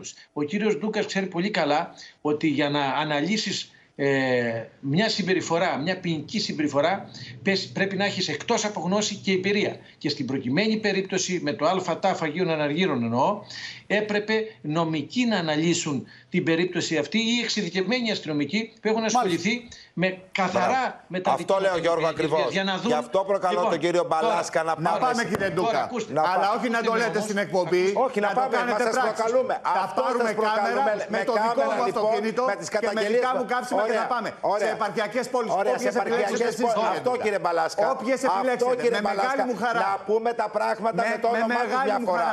Χαρά. να πούμε τα Τώρα, πράγματα οι που οι αστυνομικοί γυναίκες που πάνε και έχουν πέφτουν Δεν στα σας αστυνομικά ακούνε. τμήματα. Οι τηλεθε- πρέπει να να δείτε σεβαστούμε- ότι η Να αστυνομική, όχι η αστυνομία, η αστυνομική. Ο Γιώργος δεν λέει είναι το αυτοί εξή: οι ότι έξι υπάρχουν. Δεν τα επίορκοι. βάζουμε εμείς όλα στο Δεν ίδιο είναι καζάνι. αυτοί οι έξι Λέμε ότι επίορκοι οι των αστυνομικοί Αγίων υπάρχουν Αναργύρων. αστυνομικοί που δεν κάνουν Να καλά τη πάμε, δουλειά κύριε τους. Ντούκα μου. Σας ευχαριστώ. Δεν είναι οι Λοιπόν, σας αστυνομικοί της προκαλούμε. χώρας. Εγώ- Αυτοί οι έξι επίορκοι. Θα μου επιτρέψετε να Επειδή- λειτουργήσω πυροσβεστικά, επειδή ο διότι δεν αστυνομικός καταλαβαίνει πολλές φορές κανένας είναι- που μας παρακολουθεί. Ναι, Μιλάμε δεν όλοι δεν μαζί. δεν Επιτρέψτε κανείς μου. Κύριε Κατακμάνη, Ναι, καταρχάς. Νάσο μου. Καταρχάς, Ναι, ακούστε.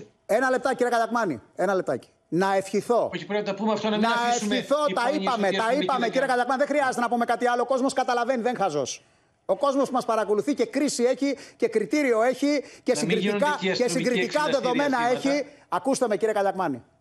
Ναι. Δεν, δεν είμαι εγώ αυτός, ούτε η ομάδα που με περιστοιχίζει δημοσιογραφική, που θα βάλει κάτω από το χαλί κανένα σκελετό. Δεν θα κρύψουμε απολύτως τίποτα. Αυτά λοιπόν που είπατε πριν, σας καλώ και σας προκαλώ, αν με το καλό σας ψηφίσει ο κόσμος γιατί κατεβαίνετε ως Ευρωβουλευτής με το Πασόκ στις επερχόμενες εκλογές, στην Ευρώπη να τα θέσετε όπως είναι. Και να τα θέσετε Μα η ασφάλεια- κάτω, κάτω από τη σημαία της χώρας χωρίς καμία κομματική απόκληση. Η ασφάλεια Εννοείται. είναι Εγώ- το πρώτο πράγμα και το περιδικαίου αίσθημα που έχει ανάγκη αυτή τη στιγμή η ελληνική κοινωνία. Και είναι τροτό. ακριβώς. Είναι τροτό. Και δεν δεν φταίνουν οι αφορά- δημοσιογράφοι και δεν αφορά που μόνο- καταγράφουν ναι. την επικαιρότητα, κύριε Καλιακμάνη. Είναι η πραγματικότητα, Συμφωνώ. είναι η υποχρέωσή μας να Αλλά- το κάνουμε. Ακούστε, όμως απ' την άλλη, ε, μην αφήνουμε το μήνυμα ότι όλοι οι αστυνομικοί δεν κάνουν καλά. Όχι, τη δεν δουλειά είπα. τους. Όχι, το είπαμε και πριν. Προκειμένου Μπράβο, δεν Γιώργο. κάνουν. Το είπαμε και Δεν πριν. είπαμε γι' αυτό. Δεν γενικεύουμε. Μπράβο, Είναι Γιώργο. φασιστικό να γενικεύεις. Ναι, Δεν μπράβο, γενικεύουμε. Κάποιοι, κάποιοι προσπάθησαν να. Δεν με ενδιαφέρει τι κάνουν Όχι, κάποιοι. εμείς Στη δεν δική μου κάνουμε αυτό. εκπομπή Και είστε. θέλουν να βάλουν Δεν με την νοιάζει τι κοινωνία κάνουν απέναντι άλλοι. στην αστυνομία. Δεν μιλάμε Θα για είναι εσάς, λάθος. κύριε Σας Γουμενίδη. ευχαριστώ. Τώρα, Δεν όλους. μιλάμε για εσάς, κύριε Δεν Γουμενίδη. μιλά... Σταύρο, δεν είναι Να μ' προσωπικό αφήσεις- το θέμα. Αλλά δεν μπορώ εγώ να υιοθετώ στην εκπομπή το τι λέει ο ένας και ο άλλος. Εγώ Να σου- είμαι υπεύθυνος Όχι. για αυτό που παίζει στη δική μου εκπομπή. Και στη δική μου εκπομπή, σου- λοιπόν, για να κλείσουμε τη συζήτηση, γιατί δεν έχουμε άλλο χρόνο. Να σου θέλω να μου αυτό που λέω, επιτρέψεις Γιώργο, μια είναι πρόταση. Αν με το καλό σε ψηφίσει ο κόσμος που εύχομαι να σε ψηφίσει, γιατί είσαι ένας μαχητικός και αστυνομικός και εύχομαι Ευχαριστώ και για τα ευρωβουλευτής καλά σου. αργότερα. Τις ευχές σου. Λοιπόν, να θέσεις το θέμα της ασφάλειας από την πρώτη στιγμή. Η Για να γίνουμε ασφάλεια Ευρώπη. του πολίτη, Όχι μόνο η σε άλλα, σε ασφάλεια αυτό. του Στην Ευρωπαίου αντιμετώπιση πολίτη της είναι βίας κατά των πρώτο. γυναικών. Κύριε, Ναι, κύριε Κατακμά, η να κλείσουμε με ασφάλεια- εσάς. Η ασφάλεια του πολίτη είναι στη, στα πρώτα θέματα στην ατζέντα στην Ευρωπαϊκή Ένωση, όχι μόνο στην Ελλάδα. Να Δεν μην το είναι μόνο συζητάμε. στην ατζέντα, Μην κύριε ξεχνάτε Καλιακμάνη, να ότι- γίνει στην πράξη, ότι κύριε και- Καλιακμάνη. Ναι, στη, στην πράξη. Και μην ξεχνάτε ότι η ασφάλεια έχει άμεση σχέση με τον τουρισμό, με τη βαριά βιομηχανία της χώρας Μάλιστα. μας. Αν δεν έχουμε μια ασφαλή χώρα ή αν βγάζουμε επικοινωνιακά ότι η χώρα μας δεν είναι ασφαλή, θα έχουμε πρόβλημα. Κύριε Και Καλιακμάνη, αυτό το πρόβλημα Σταύρο Μπαλάσκα. ίσως και να το δημιουργήσουμε. Τάσο Ντούκα, σε ευχαριστούμε είναι- πάρα ε, πολύ. είναι λάθος. Σας ευχαριστώ όλους για την παρουσία σας. Και εμείς, μιας που μιλήσαμε για Ευρώπη, πάμε σε μια χώρα που έφυγε από την Ευρώπη πρόσφατα και αναφέρομαι στην Μεγάλη Βρετανία με το Brexit. Ε, Έχουμε ζωντανά ε, τον Γιώργο Νελόπουλο, ο οποίος είναι ζωντανά από το Λονδίνο και μας περιμένει. Γιώργο μου, καλή σου ημέρα. Ε, ε, γίνονται πολλά, γίνονται εκτιμήσεις για τη δημοφιλία της βασιλικής οικογένειας. έχουμε Μπόρι Τζόνσον που ουσιαστικά τι λέει, ότι αν φύγουν ε, τα μάρμαρα του Παρθενώνα από το Βρετανικό Μουσείο δεν θα υπάρχει Βρετανικό Μουσείο. Γενικώς κοχλάζει η επικαιρότητα στο Λονδίνο. Να ξεκινήσουμε με τις ε, πιο δημοφιλείς περσόνες προσωπικότητες της βασιλικής οικογένειας. Καλημέρα σας από το Λιόλου στο Λονδίνο. Ο, Α- ο Απρίλιος έφερε και την Άννη. μαζί. Ε, και μαζί με την Άνοιξη ήρθαν και οι πρώτες δημοσκοπήσεις. Για να πάμε λίγο στην κάρτα. Ελάτε μαζί, μου, ελάτε μαζί μου τώρα να πάμε λίγο στην κάρτα εδώ στο video wall μας για να όση ώρα ο Γιώργος μας δίνει κάποια στοιχεία. Έλα Γιώργο μου συνέχισε εσύ, εμείς απλά τηλεοπτικά πω, δίνουμε. Να πω, να, πω, να πω ότι φέτος είναι χρονιά εκλογών και για βουλευτικές εκλογές με πολύ δύσκολα, δύσκολη την κατάσταση για τα ποσοστά που παίρνουν οι Τόρις, το κυβερνών κόμμα του Ρίση Σούνακ. Όλα δείχνουν βέβαια ότι οι δημοκρατικοί πολύ δύσκολα θα χάσουν την ε, πρωτιά, όμως όλα αυτά θα τα δούμε όταν θα οριστούν καταρχάς οι ημερομηνίες όπου θα πραγματοποιηθούν οι εκλογές. Αυτό που πραγματικά έκανε αίσθηση ήταν ε, μια, α, ένα γκάλωπ το οποίο πραγματοποιήθηκε για το YouGov ε, από την περίοδο 2 και, έγινε 2 και 3 Απριλίου ε, πριν από μερικές ημέρες δηλαδή, είναι πολύ φρέσκο και σε σχέση με όλη αυτή την κουβέντα που έχει ξεκινήσει περί μοναρχίας σε όλη την Ευρώπη και αν περνάει κρίση ε, και αν θα μπορέσουν μετά το θάνατο της ε, Ελισάβετ, ο Κάρολος αλλά και η συνέχεια του, αν θέλεις, να διατηρήσει τη μοναρχία στο Ηνωμένο Βασίλειο, ήρθε αυτή η πολύ μεγάλη ε, δημοσκόπηση, η οποία μας ε- έδειξε κάποια στοιχεία τα οποία είναι... Για να τα ασφαλώς. δούμε λίγο αναλυτικά. Πιο δημοφιλής βλέπω είναι η Κέιτ Μίτλετον. Κα, καταρχάς, ναι, στην πρώτη, στην πρώτη θέση έχει ανέβει μάλιστα με η δημοφιλία της ε, τους τελευταίους 6 μήνες σε ποσοστό 6%, ιδιαίτερα και μετά από την ε, ανάγνωση ε, και το, το συγκεκριμένο βίντεο που είδαμε όπου αναφέρεται ε, το πρόβλημα Στην υγείας που περιπέτειά έχει με της, τον ακριβώς. καρκίνο, η περιπέτειά της. Το θετικό πρόσημο είναι στο 76%. Βρίσκεται στην πρώτη θέση η Κέιτ Μίτλτον και μόλις το 15% έχει αρνητική γνώμη για την ίδια. Ε, από εκεί και πέρα ο Βίλιαμ σταθερά είναι δεύτερος Δείξτε μου την κάρτα, με ένα παρακαλώ. ποσοστό 73%. Την, ε, το θετικό πρόστιμο για τον ε, William είναι στο 73% όπως βλέπουμε και μόλις το 21% έχει αρνητική γνώμη για τον ε, πρίγκιπα που φέρεται ότι θα είναι αυτός ο οποίος θα αντικαταστήσει ε, όταν θα έρθει το πλήρωμα του χρόνου τον Κάρλο. Από εκεί και πέρα η πριγκίπισσα Άννα α, αγαπητή, χαμηλών τόνων και πάντα στο πλευρό της Ελισάβετ πραγματικά ένας ε, εντός αγωγικών να, με επιστρε- να με επιτραπεί η έκφραση στρατιώτης ε, της βασιλικής οικογένειας, καλύπτει τα πάντα, πάντα ήρεμη δύναμη, στο 71% ήταν η έκπληξη σε αυτή τη δημοσκόπηση γιατί πέρασε και τον Κάρλο. Και αυτό ήταν πραγματικά, να το πω, η έκπληξη σε αυτό το πίνακα. Από εκεί και πέρα, ο βασιλιάς Κάρολος ο Τρίτος βρίσκεται στο 63% με- στο θετικό πρόσημο, με τον Έντουαρτ να είναι στο 54%. Μάλιστα έχει αναλάβει τα τελευταίες ε, εβδομάδες ο Έντουαρτ, όπως γνωρίζετε πολύ καλά, ε, κάποιες ε, Πρωτοβουλίες.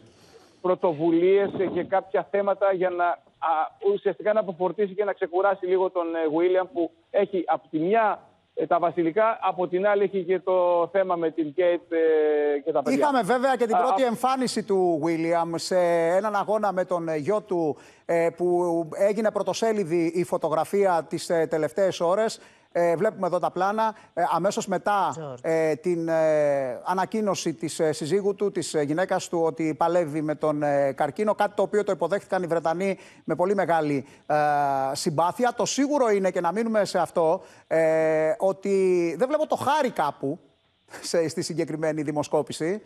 Δεν ξέρω τώρα. Ε, θα πάω λίγο, θα παλεύω πάω λίγο πιο κάτω γιατί ο Χάρη είναι στη ζώνη του 7%. προβασμού. Έχει περάσει προς τα Ναι, κάτω. δεν, ναι, βλέπω εννοώ, δεν βλέπω εννοώ ψηλά το χάρη. Ψηλά, ναι. Και δύσκολα νομίζω θα το ξαναδούμε, αλλά θα φτάσουμε σε λίγο εκεί πέρα, αφού πρώτα πω ότι ε, θυμάστε φυσικά ότι η Καμίλα για χρόνια ήταν η πέτρα του σκανδάλου, τώρα πλέον ως βασίλισσα, ε, αν και η Ελισάβετ ποτέ δεν ήθελε να έχει αυτόν τον ε, τίτλο, αλλά Μμμ. να είναι βασιλική σύντροφος, τελικά ο Κάρλος την ε, Έχρισε έχει ορίσει βασίλισσα. ως βασι- Ναι, ναι. Την έχρισε βασίλισσα. Είναι στο 50%. Ένα ποσοστό διφορούμενο, δηλαδή το 50% έχει θετική γνώμη, ένα 43% ή 41% δεν θυμάμαι. Το πνεύμα Ε, της έχει Ελισάβετ συνεχίζει να ζει, θα πω εγώ. Πάντως να, προ- να, να προσθέσουμε Ακριβώς. κάτι. Ακριβώς. αν- αν Και επιτρέπεις. τώρα, και τώρα πάμε στην δημοφιλία του Χάρη και της Μέγαν, η οποία έχει κατρακυλήσει τραγικά. Βρίσκεται μόλις στο 31 για τον Χάρη και στο 21 για την Μέγαν. Άρα ο Με τον έκτοτος Χάρη μα- μάλλον έχει βάλει πολλά αυτό γκολ. Ακριβώς. Ε, ε, το ένα μετά το άλλο. Και εκεί θα ήθελα να σταθούμε, επειδή πάμε πιο κάτω που νομίζω δεν είναι αξιολόγο. το Όχι, έξι δεν είναι κάτω που αξιολόγο. Το Άντριο, μετά, μετά από όλα αυτά που έχουν συμβεί με το σκάνδαλο κτλ. Από εκεί και πέρα, τις επόμενες ημέρες και ο Χάρη και ο η Μέγαν θα έρθουν στην, ε, στη Βρετανική πρωτεύουσα για να παραστούν σε αγώνες που θα γίνουν ε, και γίνονται κάθε χρόνο. Αυτό που έχει σημασία είναι τα δημοσιεύματα και οι πληροφορίες που αναφέρουν ότι ε, ο Κάρολος έχει λαχταρίσει να δει τα αγώνια του. Και είναι πολύ σημαντικό αυτό το σημείο γιατί όπως καταλαβαίνετε σαν παππούς ε, θέλει να δει τα εγγόνια του, τα έχει λαχταρίσει και δεν θα ήθελα να το δραματοποιήσω περισσότερο, αλλά και ο ίδιος προφανώς μπορεί να σκέφτεται ότι αν συμβεί κάτι ε, θα ήθελα να δω... Προφανώς ε, έχει, τα εγγόνια μετράει μέρες τώρα, θα το πούμε έτσι. και γι' αυτό το λόγο, Ε, ω παππούς, με- λαχταρά να δει τα εγγονάκια του που είναι από την άλλη άκρη του Ατλαντικού, έτσι. Εγώ δεν θα ήθελα να πω για τον χρόνο τι μετράει, αν είναι μέρες, εβδομάδες, χρόνια. Ε, Αυτό εντάξει. δεν- Αλλά από εκεί και πέρα σίγουρα θα ήθελα να το δει. Το έχουν λείψει. Ανθρώπινα το λέμε. Ανθρώπινα το. Όταν ένας Ναι. άνθρωπος αντιμετωπίζει ένα τόσο σοβαρό καρκίνο, γνωρίζει και εκείνος ότι ανά πάσα Ότι ώρα και υπάρχει κάποια στιγμή. επιπλοκή, ναι. Ναι, μπορεί να έχουμε κάποια επιπλοκή η οποία να δραματοποιήσει Ακριβώς. κι άλλο το επόμενο α, Ακριβώς. διάστημα. Ε, ε, Ένα- Αντρέα, ένα α, σημείο- έχουμε τον Αντρέα Καραγιάννη μαζί μας για άλλο θέμα, αλλά επειδή είναι τηλεοπτικός, Όχι, θέλει να, πω- ρωτήσει κάτι. Θέλω να πω το εξής, ότι δι- ε, το παλάτι τόσο, τόσα χρόνια που υπήρχε αυτή η τοξικότητα από πλευράς Χάρη και Μέγαν, έδειξε μία ήρεμη στάση. Όχι τοξική. Και αυτό φαίνεται και αποτυπώνεται Στις σήμερα στις δημοσκοπήσεις. δημοσκοπήσεις που Ναι, ναι. δείχνεται. Και να πούμε και ένα δεύτερο. Ο πρώτος άνθρωπος που πήρε ο Βασιλιάς Κάρολος όταν ενώσαμε με τον καρκίνο ήταν ο γέροντας Εφρέμ του Βατοπέδιου. Αυτό για την ιστορία. Και υπήρχε και η πρόθεση ε, του Καρόλου ε, λίγο μετά το Πάσχα το Καθολικό, όταν πλέον ο- πριν ακόμα δει τις νέες εξετάσεις του, να επισκεφτεί το Άγιο Όρος και μάλιστα κυκλοφορούσαν και πληροφορίες, τι οποίες μας είχε επιβεβαιώσει και ο Γιώργος τότε και στα Βρετανικά ταμπλόιτ, ότι ε, είχε σκοπό να ταξιδέψει στην Ελλάδα, αλλά δυστυχώς η κατάστασή του επιδεινώθηκε με αποτέλεσμα προς το παρόν τουλάχιστον να έχει αναβάλει ε, το συγκεκριμένο ταξίδι. Να Γιώργο, κάνουμε μια διευκρινιστική ερώτηση Ναι, πριν παρακαλώ, τον αφήσουμε. βεβαίως, βεβαίως. Γιώργο, αυτό Παρακαλώ. το γκάλοπ έγινε πριν τη λαθροχειρία της Κέιτ. Έτσι διάβασα στις εφημερίδες, ισχύει; Με τη Έγινε φωτογραφία, στις δύο ενώ τη και- λαθροχειρία με τη φωτογραφία. Έγινε πριν το Έγινε γκάλοπ. στις- Πραγματοποιήθηκε 2 και 3 Απριλίου αυτό το γκάλοπ.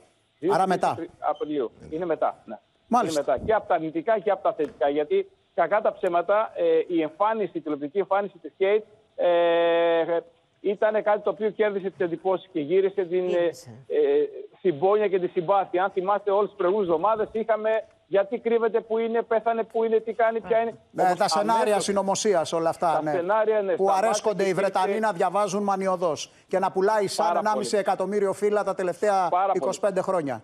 Αν μου επιτρέπεις να σου ένα Τελευταίο σχόλιο, Γιώργο μου, γιατί δεν έχουμε χρόνο. Ναι, τελευταίο το, σχόλιο. Το γνωρίζω. Ε, υπήρξε και μια ερώτηση για το ε, πόσο θετική είναι η γνώμη ε, όσον αφορά την βασιλική οικογένεια γενικά. Το 61% έχει θετική γνώμη των Βρετανών για την βασιλική οικογένεια. Ένα 7% δήλωσε ότι είναι ουδέτερο, ούτε κρύο ούτε ζέστη. Και μόλις ένα 32% έχει αρνητική α, διάθεση απέναντι στη βασιλική Μάλιστα. οικογένεια.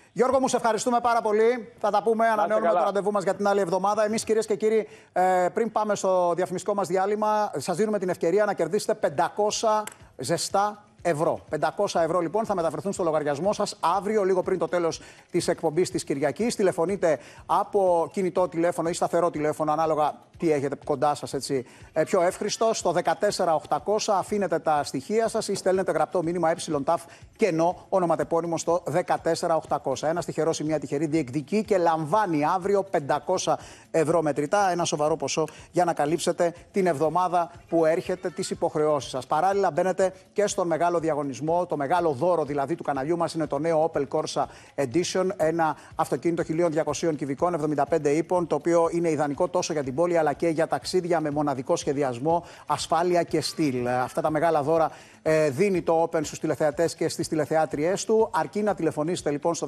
14800, το λέω άλλη μια φορά. Αφήνετε απλά τα στοιχεία σας, στέλνετε γραπτό μήνυμα ΕΤΑΦ κενό, ονοματεπώνυμο στο 14800. Σε αυτό το σημείο φεύγουμε πολύ γρήγορα σε διαφημίσεις και επιστρέφουμε με το τελευταίο μέρος της ε, εκπομπής, ε, το οποίο έχει εξαιρετικό ενδιαφέρον. Γιατί κάποιοι φρόντισαν να φωτογραφηθούν ως 12 Απόστολοι λίγες ημέρες πριν το Ορθόδοξο Πάσχα.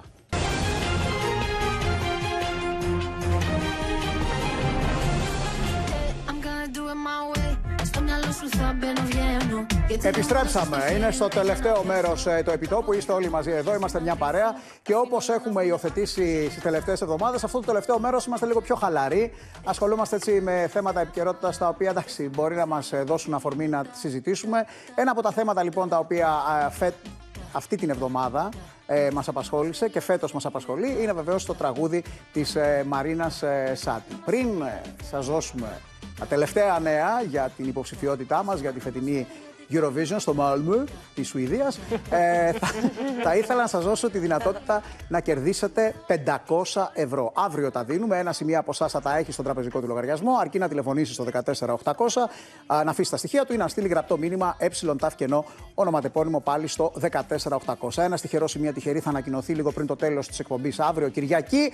Ένας από εσάς θα καλύψει τις ανάγκες του και τις υποχρεώσεις του για την επόμενη εβδομάδα με αυτό το ποσό. Παράλληλα, μπαίνετε και στο μεγάλο διαγωνισμό του καναλιού μας για το νέο Opel Corsa Edition. Και πάμε να δούμε, παρακαλώ, πάμε να δούμε αυτό το βίντεο ε, το οποίο κυκλοφόρησε αυτή την εβδομάδα. Ε, που ήταν ένα κράμα ελληνικού κεφτέ με μουσικά, keyboards, ε, τυροπιτάκια, φραπεδιές. Υπερβολές, υπερβολές. Υπερβολές, δες το. Για δείτε Το λίγο. είδα. Για δείτε. Τα, τα, τα, Πάρα πολύ ωραίο. Νομίζω ότι σε κάθε ελληνική αυλή στα χωριά ή σε πόλεις. Είναι. Τι έτσι είναι; Έτσι είναι. Κατεβάστε το λίγο, παιδιά, δεν Είναι- ακουγόμαστε μεταξύ μας. Συγγνώμη, να σου πω κάτι. Αυτό ναι. δεν είναι Ελλάδα. Ποιο είναι Ελλάδα; Δεν είναι το Ελλάδα keyboard, ο κεφτές. Το key... Δεν είναι Ελλάδα Και ο το Λαχανοντολμάς Κοζίκι. είναι και αυτές. Και το Ε, Καζάν TV μα είναι. Αυτά είναι ε, η Ελλάδα. Ελλάδα. Λοιπόν. Δεν θα προβάλλουμε τη χώρα μας έτσι. Με αυτό το τραπεζομάντιλο και με τα, με τα κεφτεδάκια και με τα. Τραπεζομάντιλα, άμα είναι να ανταλλάξουμε και τον μπακλαβά. σε ενοχλεί. Πάντως τα σχόλια ήταν θετικότατα. Δεν είπα εγώ ότι δεν ήταν, αλλά ήταν λίγο υπερβολικό, δεν ήταν λίγο τώρα Ήρθαν αυτό. τα πανηγύρια νωρίτερα φέτος το 15 Αύγουστο. Εντάξει. Λοιπόν, εντάξει, εγώ, εγώ είμαι Άμα λάτρης των φέρει πανηγυριών. όμως- άμα Και εγώ, φέρει και το εγώ, και εγώ. βραβείο η Πάτσαμε να κοπέλα. αλλάξει όρεξη Ναι. προσωπικά με το βίντεο. Αυτό. Ε, έτσι, ε, βέβαια. Ε, μα, ε, με, το, με τόσες λιχουδιές εκεί ελληνικές, το keyboard τώρα δίπλα στον κεφτέ, εντάξει, είναι λίγο... Αλλά το κλαρίνα ταιριάζει αυτό. Λοιπόν, Ναι, πάμε και, να... και με το φραπέ. Και με το Παραδοσιακή φραπέ και με το ελληνική κεφτέ και με το οικογένεια. τυροπιτάκι. Και είχε και σχόλια Και με έμαθα. τη στριφτή Πολλά. τυρό. Έχει, στριφτή, το, έχει λεπτομέρεια πάνω. Πατσαβουρόπιτα είναι. Έχει, έχει λεπτομέρεια. Έχει λεπτομέρεια. Λοιπόν, Ότι να κακοί συνδεθούμε είστε. ζωντανά με το Φώτη Ντίνο, ο οποίος είναι πάλι μαζί μας εδώ. ακούει και αυτός, ο α; συνάδελφος, τι ακούει, τα ζει, Μα, τα τι ξέρει ακούει αυτά. και αυτός ο Και με άνθρωπος, έναν εκ τέλος των πάντων, κορυφαίων. γελάει. Μισό λεπτάκι, μισό λεπτάκι. Θέλω να κάνω intro γιατί είναι φίλος μου ο Σταύρος ο Παζαρέτζης χρόνια. Ε, λοιπόν, ένας εκ των κορυφαίων μουσικών στην Ελλάδα με το κλαρίνο του, με τρομερές βραδιές και στη Θεσσαλονίκη και στην Τουρκία παρακαλώ. Αγαπημένος μουσικός στην τουρκική μουσική αγορά. Τον καλούνε συνέχεια στην ε, Τουρκία για να παίξει τις ελληνικές του μουσικές. Με τρομερές συνεργασίες στις βαλκανικές χώρες παντού όπου υπάρχουν χάλκινα, κλαρίνα, ο Σταύρος είναι εκεί. Και σε ευχαριστώ πάρα πολύ και το λέω και τηλεοπτικά για την παρουσία σου σήμερα Σταύρο μου. Αφού δεν μπορούμε να τα πούμε από κοντά, να τα πούμε έτσι. Να είσαι καλά, να σε. Ευχαριστώ πολύ. Σταύρο, έχεις ακούσει το κομμάτι, έχεις ακούσει τις μελωδίες, έτσι, Ναι, και είσαι ναι, ένας από τους πλέον έτσι, ειδικούς θα έλεγα, ως γνώστης της μουσικής, να μου, να μου πεις την αίσθησή σου. Πώς το άκουσες το κομμάτι της ε, Μαρίνας; Κοίταξε, σαν πρώτη φορά το, το ακούς το κομμάτι, σου κάπως λίγο σε. Μπερδεύεις. σε τσιτάρει λίγο το Ξενίζει. κομμάτι. Μπερδεύεσαι λίγο ακριβώς. Αλλά αν το, όταν το ξανακούσεις δύο και τρεις φορές, ε, το κομμάτι έχει Ελλάδα μέσα. Ξεκινάει με μπουζούκι, έχει το ζουρνά μέσα που είναι παραδοσιακό όργανο της χώρας μας. Έτσι, γιατί στη Μακεδονία έχουμε ζουρνάδες. Και Πάντα. έχουμε Θεσσαλονίκη επίσης Ε, έχουμε βέβαια. ζουρνάδες. Και στη Θράκη Ε, έχουμε ζουρνάδες, δεν έχουμε μόνο στη Μακεδονία, σε όλη τη Βόρεια Ελλάδα έχουμε. Ακριβώς, σε όλη τη Βόρεια Ελλάδα, ακριβώς. Ακριβώς. Και έχει μέσα τον ήχο του ζουρνά, έχει το... ξεκινάει με το μπουζούκι, τι πιο ελληνικότατο, έτσι, Ναι, ναι. με το μπουζούκι. Και είναι ενορχιστρο- ενορχιστρωτικ- ε, ενορχιστρωτικά, μπορώ να πω ότι είναι στο σήμερα. Είναι ένα κομμάτι που ακούς σήμερα, η ήχη του είναι σημερινή. Μμμ. Παρότι στην αρχή Και το, κυριότερο, μπερδεύεσαι. και το κυριότερο από όλα έχει ελληνικό στίχο. Το κυριότερο. Βεβαίως, έχει ελληνικό στίχο. Είναι ένα κράμα ε, ελληνικού στίχου και κάποιων έτσι ξένων ε, ατακών που τις γνωρίζει όλος ο πλανήτης. Το put your hands up, ας πούμε, είναι κάτι το οποίο το χρησιμοποιούν όλοι. Είτε είσαι Το Βρετανός, τα-τα-τα. είτε Και το δεν είσαι. τα-τα-τα. Και το τα-τα-τα. Το τα-τα-τα, παιδιά, είναι από τότε που γεννιόμαστε. Τα-τα-τα. Να εξαρτάται πώς το χρησιμοποιείς το τα-τα-τα. Ε, πώς το βλέπεις το Ξέρετε- βλέπ... Έλα, Σταύρο, έλα. Ε, εγώ, εγώ επειδή ταξιδεύω πολύ στο εξωτερικό, ε, τα σχόλια είναι πολύ θετικά. Από μουσικούς και από, από τον απλό τον κόσμο. Μμμ. Τους αρέσει πάρα πολύ το τραγούδι. Μάλιστα. Άρα πιστεύεις ότι καλά. θα πάμε καλά; Ναι, πιστεύω θα πάμε καλά, ναι. Μμμ.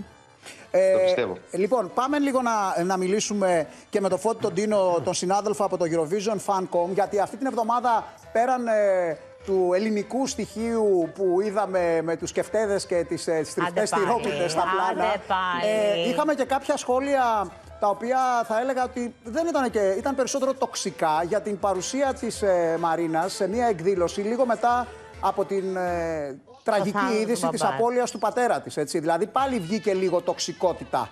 Ίσως και λίγο παραπάνω από το κανονικό και που δεν πρέπει, έτσι δεν είναι φώτη. Μας περσεύει μάλλον. Ε, ναι, δεν νομίζω ότι είναι κάτι το οποίο ξενίζει σε ό,τι αφορά την Ελλάδα. Πάντα είμαστε συνηθισμένοι και σε θετικά και σε αρνητικά σχόλια. Οπότε, με χάρη και το βίντεο το οποίο έπαιξε, που είναι η unplugged version του, του, ζαριού, Ζάρη. του ζαριού. Ε, ενώ δηλαδή πήγαινε πάρα πολύ θετικά σχόλια στο εξωτερικό, στην Ελλάδα ίσως δεν είμαστε ικανοποιημένοι με τίποτα. Ναι, πραγματικά. Από τη μία σχολιάζουμε αρνητικά τον ινδικό ρυθμό, τον Ανατολίτικο. Κάποιοι λέγανε στο βίντεο αυτό γιατί χόρυψε τσιφτετέλη, δεν είναι ελληνικό. Ε, Το ενώ το γκεφτέ. θέμα που πραγματικά βλέπουμε. Το γκεφτέ που το λέει γκεφτέ. και ο κ. Μπουμενίδης. Εντάξει, ναι. εμένα, παιδιά μου, ε, κοίτα, με ξένησε λίγο όλο Όχι, αυτό. εντάξει, να το δηλαδή, πούμε κοίτα τώρα, δεν μπορείς να λες 2024 να έχει ζήσει MTV Unplugged με Unplugged κανονικό, να είναι κάπου. Και... Αυτό δηλαδή βγάζει μια. Βγάζει μια Ελλάδα, αλλά νομίζω ότι συνεχίζει φώτη να το τρολάρει και λίγο η Μαρίνα. Δηλαδή συνεχίζει να ναι, το τρολάρει. είναι στο γενικότερο κλίμα του στυλ που ακολουθεί και του ύφους. Ακριβώς. Είναι, όπως είπαμε, ε, μία μίξη του σύγχρονου και του παραδοσιακού. Εδώ πέρα βλέπουμε ότι παίρνει μικρόφωνα, keyboard, ε, βλέπουμε κινητά τηλέφωνα να καταγράφουν το όλο σκηνικό. Και παρόλα αυτά μας δείχνει ένα γλέντι, το οποίο είναι ένα γλέντι ελληνικό. Αν μη τι άλλο, έχετε και Πάσχα και μια τέτοια αυλή σε ένα σπίτι με Το αρνί καρέκλες, λείπει. πλαστικές Τα καρέκλες, κόκκινα. φαγητά, ενδεχομένως μια κλιματαριά. Είναι οι εικόνες που έχουμε οι περισσότεροι μας για το τι είναι ένα ελληνικό γλέντι, για το τι είναι ένα ελληνικό Πάσχα. Και μην μια ξεχνάμε, αν μου σημα- μια επιτρέπετε, συμμάζοξη. ότι το πρώτο βίντεο, το κανονικό βίντεο κλιπ που είχε γυριστεί, υπήρχαν κριτικές πολλές για το κατά πόσο αντι, ε, αντικατοπτρίζει την ελληνική πραγματικότητα. να το έτσι. κάνανε για να ισορροπήσουν Υπήρχε και λίγο, δηλαδή και λες. μια κριτική πάνω σε αυτό. Εγώ θέλω να πω ότι το κομμάτι αυτό όντως φαίνεται ποιοτικό και μακάρι να πάει πάρα πολύ καλά. Απλά δεν έχει αυτό το εύπεπτο, το σύντομο, το συνθηματικό που έχουν κάποια τραγούδια που μπορεί να γίνει σύνθημα εύκολα. Αυτό είναι το μόνο που φοβάμαι. Κατά τα άλλα, ελπίζω πραγματικά να πάει πάρα, μα πάρα πολύ καλά. Σε αυτό βοηθάει πάρα πολύ το τα-τα-τα.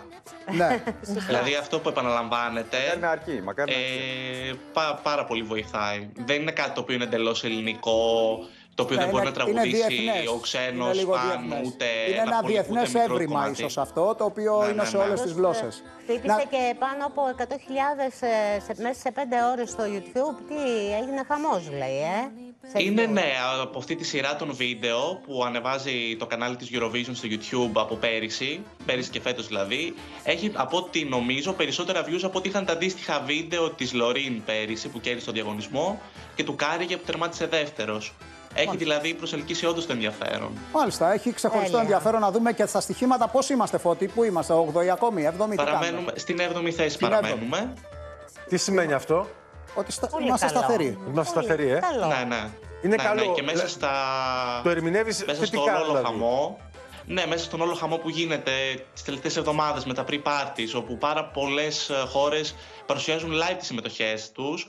Εμείς το ότι βρισκόμαστε στην 7η θέση χωρίς να έχουμε παρουσιάσει ζωντανά τη συμμετοχή μας και δεν έχουμε πέσει, είναι ένα πάρα πολύ θετικό σημάδι. Κοίτα, εγώ είμαι της άποψης και το καταθέτω δημοσίως. είμαι μεγάλος θαυμαστής της Μαρίνας Σάτι από την ημέρα μας τα που γυρνάς τραγούδισε. Δε- Άκου. άκου. Για τα Άλλο το κεφτεδάκια. καλλιτεχνικό κομμάτι Τα και γυρνάει άλλο το τώρα. κομμάτι Κι άλλο της μαγειρική. αισθητικής, το οποίο έχει τρόλ διάθεση, άρα μπορεί να υποστεί και την κριτική όλων μας. Είναι άλλο το ένα, άλλο το άλλο. Από την ημέρα που τραγούδισε τα λιανοχορταρούδια το θρακιώτικο, τον ύμνο τον θρακιώτικο με έναν μοναδικό τρόπο που ήταν σαν να σε πήγαινε ε, κάπου αλλού, δηλαδή ταξίδι. ε, τραγουδούσε με έναν τρόπο λες και ήταν, ε, ε, τι να πω, σε ένα θέατρο ας πούμε ή σε, ε, με, με, με, με, με συγκλώνησε αυτό το πράγμα. Δηλαδή η ικανότητά της Είναι φωνάρα. εδώ, Είναι η φωνάρα, ικανότητά δεν της υπάρχει είναι, είναι αμφιβολία γι' αυτό. μοναδική.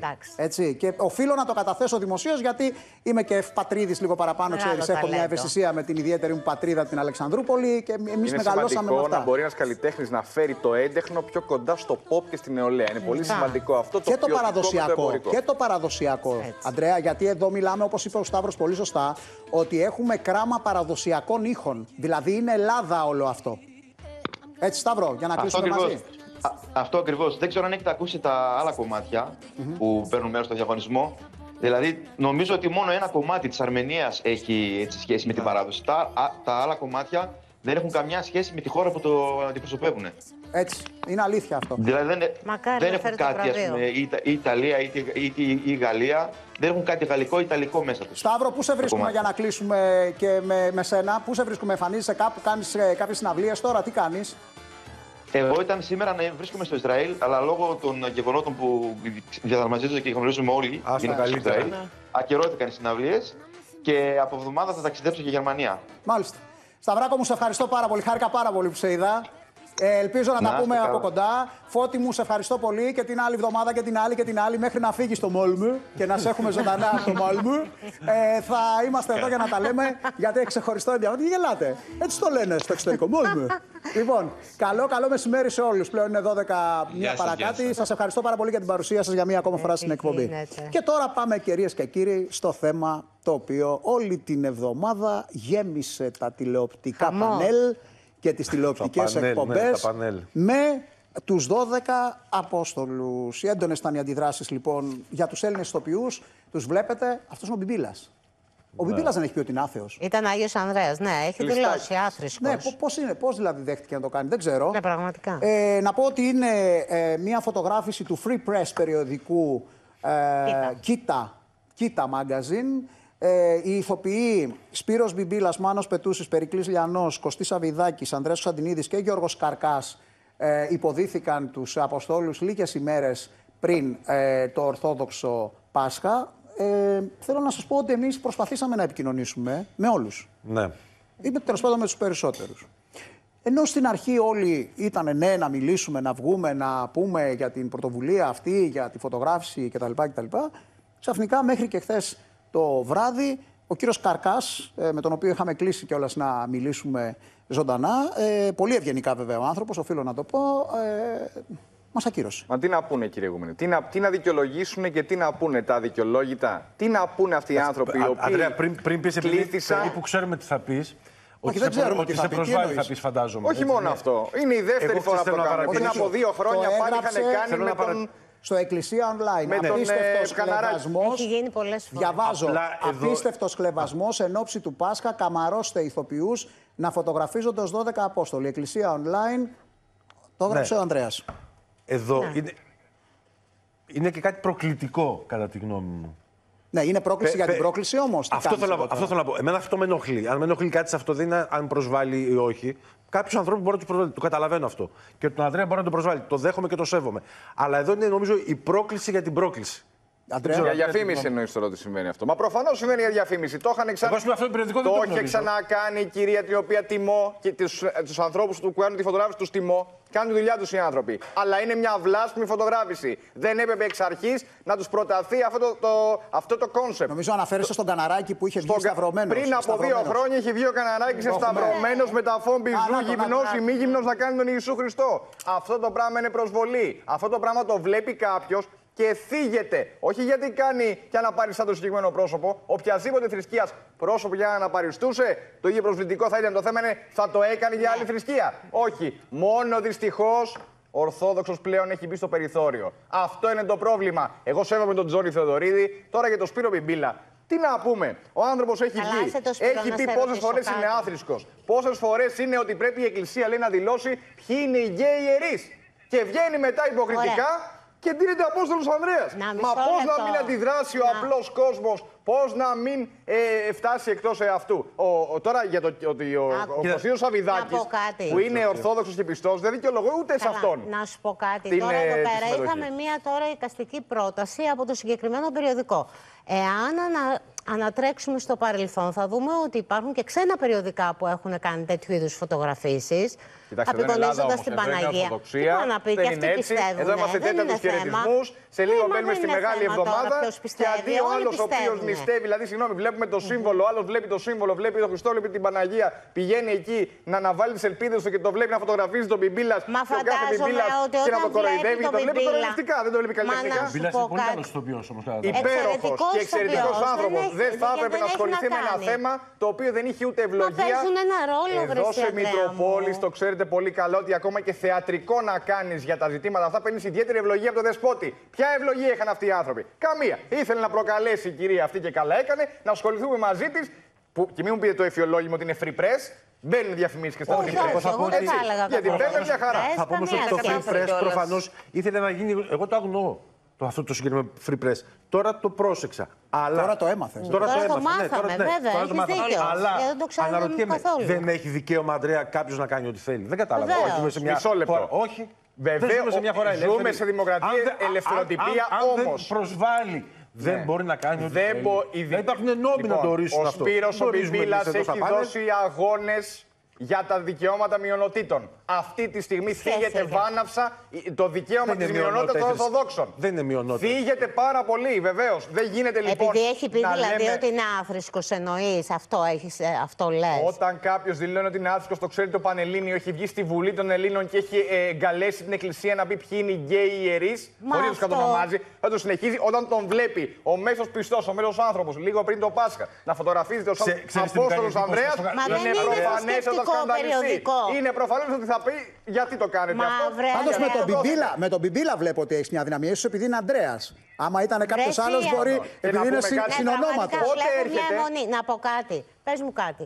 Εάν αυτή τη στιγμή γινόταν μια θεατρική παράσταση και έγι- η παράσταση είχε θέμα τον μυστικό δείπνο. Όχι, η γνωστή, η γνωστή Το ταινία που θα μυστικό δούμε δείπνο τώρα. που Θα δούμε τώρα. υπήρχαν Τη 12 μεγάλη εβδομάδα ηθοποιοί, σε προσβάλλει αυτή η Θα Αντρέα. σε, μου. θα σε ενοχλούσε. λεπτό. Δεν είναι θέμα τι προσβάλλει και τι όχι. Εδώ είναι μια φωτογράφηση σε ένα περιοδικό Το το, ίδιο οποίο δεν πράγμα είναι, είναι. καν. Δεν είναι αφιερωματικό. Εδώ Στο δεν οποίο είναι δεν ότι υπάρχει κάτι αφιερώνεται. καλλιτεχνικό εν Δύο τέλει, λεπτά. έτσι, δεν, δεν- αφιερώ... δεν αφιερώνεται στη θεολογία, στην ιστορία, στο να πούμε κάτι για το Πάσχα, στο θέμα κατάνοιξης. Οι ταινίες στις οποίες αναφέρεστε έχουν ένα περιεχόμενο, είναι χουλιγουντιανέ, είναι διαφορετικού τύπου. Βρε, Εδώ λοιπόν το τι να τη παράγεται σχέση, αυτό το γι' αυτό περιεχόμενο. παίρνουν άδεια. Να βλέπουμε. Μα παίρνουν άδεια αυτές τις Μα πώς ταινίες. μπορούμε να βλέπουμε το εξώφυλλο, ξέρετε τι έλεγε; Είχε τον Τζόνι Θεοδωρίδη ντυμένο Χριστό. Ναι. Και έλεγε Τζόνι Θεοδωρίδη The Man of Art. Τι σχέση έχει ο άνθρωπος της τέχνης; Τι σχέση έχει αυτό Μα είναι με την εικαστική Ορθόδοξη άποψη, θεολογία βρε λίγο πριν εσύ, το Πάσχα; Ανδρέα μου. Μα δεν είναι εικαστική άποψη να το κάνουμε με κάποια άλλη θρησκεία. Να πάνε στην Τουρκία να τι το κάνουν με πάνε τον Μωάμεθ. Μπορούνε; Σε πόσο μπορούνε. καιρό- Μπορούν, δεν μπορούν, προφανώς δεν μπορούνε. μπορούν. Γιατί θα τους είχαν πάει ε, δεμένους. Όχι ότι είναι θα καλό έβγαινε. αυτό. Ευτυχώς που η χώρα μας είναι δημοκρατική. Ευτυχώς που σε η αυτό χώρα το μας πλαίσιο δεν λοιπόν, υπάρχει κύριε η βία και δεν Η υπάρχει όλο αυτό. συγκεκριμένη διάταξη, επειδή μίλησα με νομικούς, η συγκεκριμένη διάταξη που υπήρχε καταργηθεί. παλιά έχει καταργηθεί. Περί προσβολής χρηστών ηθών και όλα αυτά έχει καταργηθεί. Μα να ρωτήσω δηλαδή υπάρχει κάτι. μια ελευθερία. Στην τε... Καταρχάς η τέχνη για μένα δεν έχει όρια. Ξεκινάμε από αυτό. Μα και να πούμε Το κάτι. γεγονός όμως ότι μιλάμε για ένα marketing εργαλείο το οποίο ε, πέτυχε και οφείλουμε να Το, το αποδεχτούμε. συζητάμε, έχει πετύχει αυτό εμείς Έχει φαντάζομαι. πετύχει το συγκεκριμένο δεν έχει free πετύχει. press περιοδικό. Σαν Όχι, δεν έχει ιδέα, πετύχει. είναι Το πολύ Έγινε μάθανε, αυτό. το μάθανε το συγκεκριμένο περιοδικό πάρουνε όλοι. από, το, από τον Κυπρίνο στο τρίγωνο του Εύρου πάνω με την Βουλγαρία και την Τουρκία μέχρι τη Γάβδο. Το μάθανε το περιοδικό ακριβώς επειδή ασχολήθηκαν οι εκπομπές με αυτό. Η χρονική περίοδος και το στίγμα το χρονικό που επιλέγεται να κυκλοφορήσει η συγκεκριμένη φωτογράφηση είναι αυτή που με βάζει σε σκέψη. Και όχι μόνο αυτό, βγαίνει η Γιατί εκδότρια. Μα Αυτό είπα επί και εγώ τούτου, στην αρχή. Βγαίνει η όταν- εκδότρια και Όχι όλοι λέει. μαζί, όχι όλοι μαζί. έλα, Βγαίνει η έλα. εκδότρια και λέει, το ξε... απαντώντας σε ερώτηση, ξέρετε ότι θα προκαλέσετε. Ήξερα ότι θα προκαλέσω. Ναι, και το έκανε επί τούτου. Αυτό αν δεν Μα ενέχει επειδή- μέσα δόλο, αν δεν έχει με δόλιο τρόπο να βάλει τους ανθρώπους αυτούς στο περιθώριο και να Βρε, εσύ, ουσιαστικά Αντρέα ένα μου, ρατσιστικό συγγνώμη, κίνδυνο άμα ει δεν βάρο τη των ανθρώπων βγάζαμε χριστιανών, τώρα, Ένας μεγάλος δίνει άντρας, δυστυχώ. Η τέχνη προκαλεί τα συναισθήματα, λέει ένας Προφανώς, αλλά αυτό τι, τι- σε τι εξυπηρετεί; Στον να είναι στα κάγκελ ελληνική κοινωνία και δίνει νερό στο μήλο κάποιων ακραίων ακροδεξιών ψεκασμένων τώρα να έχουν αφήγημα ότι υπάρχει το σύστημα που τους πολεμάει. Αυτό θέλουμε. Όχι. Για να διαφημιστεί η κυρία, γιατί να το κάνουμε αυτή, λοιπόν αυτή η αυτό; εικόνα σε προσβάλλει αυτή τη Γιατί, στιγμή. να ρωτήσω δεν, Δεν κάτι. έχει κάτι προσβλητικό. Γιατί το Μια τραβάμε τόσο αναπαράσταση πολύ. είναι. Είναι μια ωραία φωτογράφηση. Ασχέτως αν δεν σ' αρέσουν τα πρόσωπα. Επίτρεψέ μου ή όταν έχεις- βλέπω το είναι μια πρόσωπο ωραία του φωτογράφηση Σπύρου ή και το τίποτα πρόσωπο του περισσότερο. οποιοδήποτε και τον έχω Μα ταυτίσει αυτό ακούω στην ότι με προσωπική το τους Σπύρο ζωή. έχεις αιμονή. Όχι, από τον ό,τι αγαπάω και τον καταλαβαίνω. Είναι επειδή είναι λέω. ο Άγιος ο- Ανδρέας σου λέω. λέω, γιατί είναι Ανδρέας Ο- ο- Καραγιάννης. ο άνθρωπος- Άμα ήταν ε, κάποιος Μα να άλλος, πούμε κάτι. Παύλος, Πού; γι' αυτό. Ο μέσος άνθρωπος ο σπίτι του, Σατανικός. όταν βλέπει τη μία κάποιον να διώκει με τα μανίες και να λέει: Εγώ δεν μπορώ την εκκλησία του παπάδες, και την άλλη να, να αμφίεται και να, να ντύνεται σαν να είναι μέρος της θρησκευτικής αυτής κανονικότητας. Δεν θα ε, έρθει Άρα ο εκτός εαυτού. Σπύρος είναι Δεν το είναι προφανές θέμα. αυτό. Ή ο Πάντως, κύριος Αντρέα, Καρκάς, να ο σου πω οποίος κάτι. κάθε μέρα υβρίζει. είτε- Την την πίστη, μπείτε στο προφίλ του να δείτε τι κάνει. Αντρέα Κάθε μου. μέρα υβρίζει. Αντρέα Όταν τον μου. καλείτε όμως Μας εδώ, πιστεύει ο δεν μπορεί, καθένας. Αντρέα δεν μου. μπορεί να ανταπεξέλθει. Αντρέα μου, θα με επιτρέψεις να σου πω ότι η πίστη δεν ε, ταράζεται από φωτογραφίσεις. Εννοείται. Η πίστη είναι μέσα μας. Σωστό. Μία όμως είχαμε την Παναγία να σου πω και Έγκυο, κάτι, την και να σου πω αφήσα. και κάτι, και να σου πω και κάτι άλλο.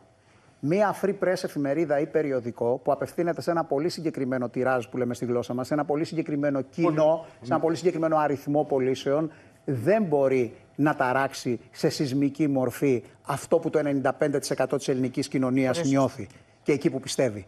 Οπότε εκτιμώ, γι' αυτό και είπα από την αρχή, ότι πρόκειται για ένα marketing tool, ένα εργαλείο marketing για να κάνει η κυρία αυτή και ορθώς έκανε και μαγιά της και μπράβο, Μπράβο της, της. σε επίπεδο marketing πάντα. Σε επίπεδο αφετηρίας Βέβαια. και απόφασης να το κάνει, κρίνεται. Αλλά σε επίπεδο marketing κατάφερε το περιοδικό της να γίνει Να γνωστό ακουστεί. παντού. Καλοφάγοντα ακουστεί. λοιπόν και καλή μετάνοια. Έλα, σταμάτα τώρα. Ευλόγησον και εσύ σταμάτα.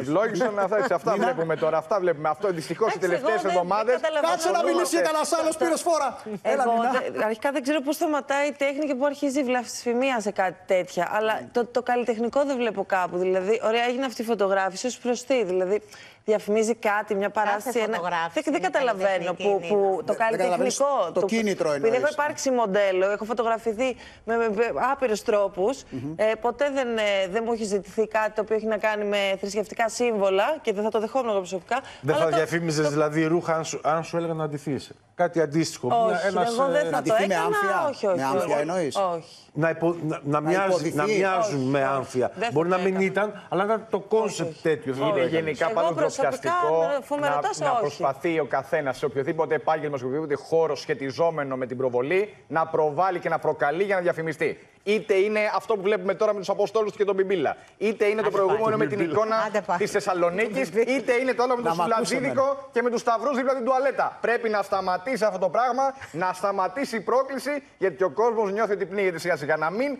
κάνουμε μειονότητα και αυτά που δεν θέλουμε στους Ορθοδόξους Χριστιανούς, οι οποίοι είναι και πλειοψηφία Μα σε δεν, αυτό. δεν μπορεί η θρησκεία να είναι, να είναι αντικείμενο marketing, έτσι. Δηλαδή, μην τρελαθούμε. Λοιπόν, ολοκληρώσαμε.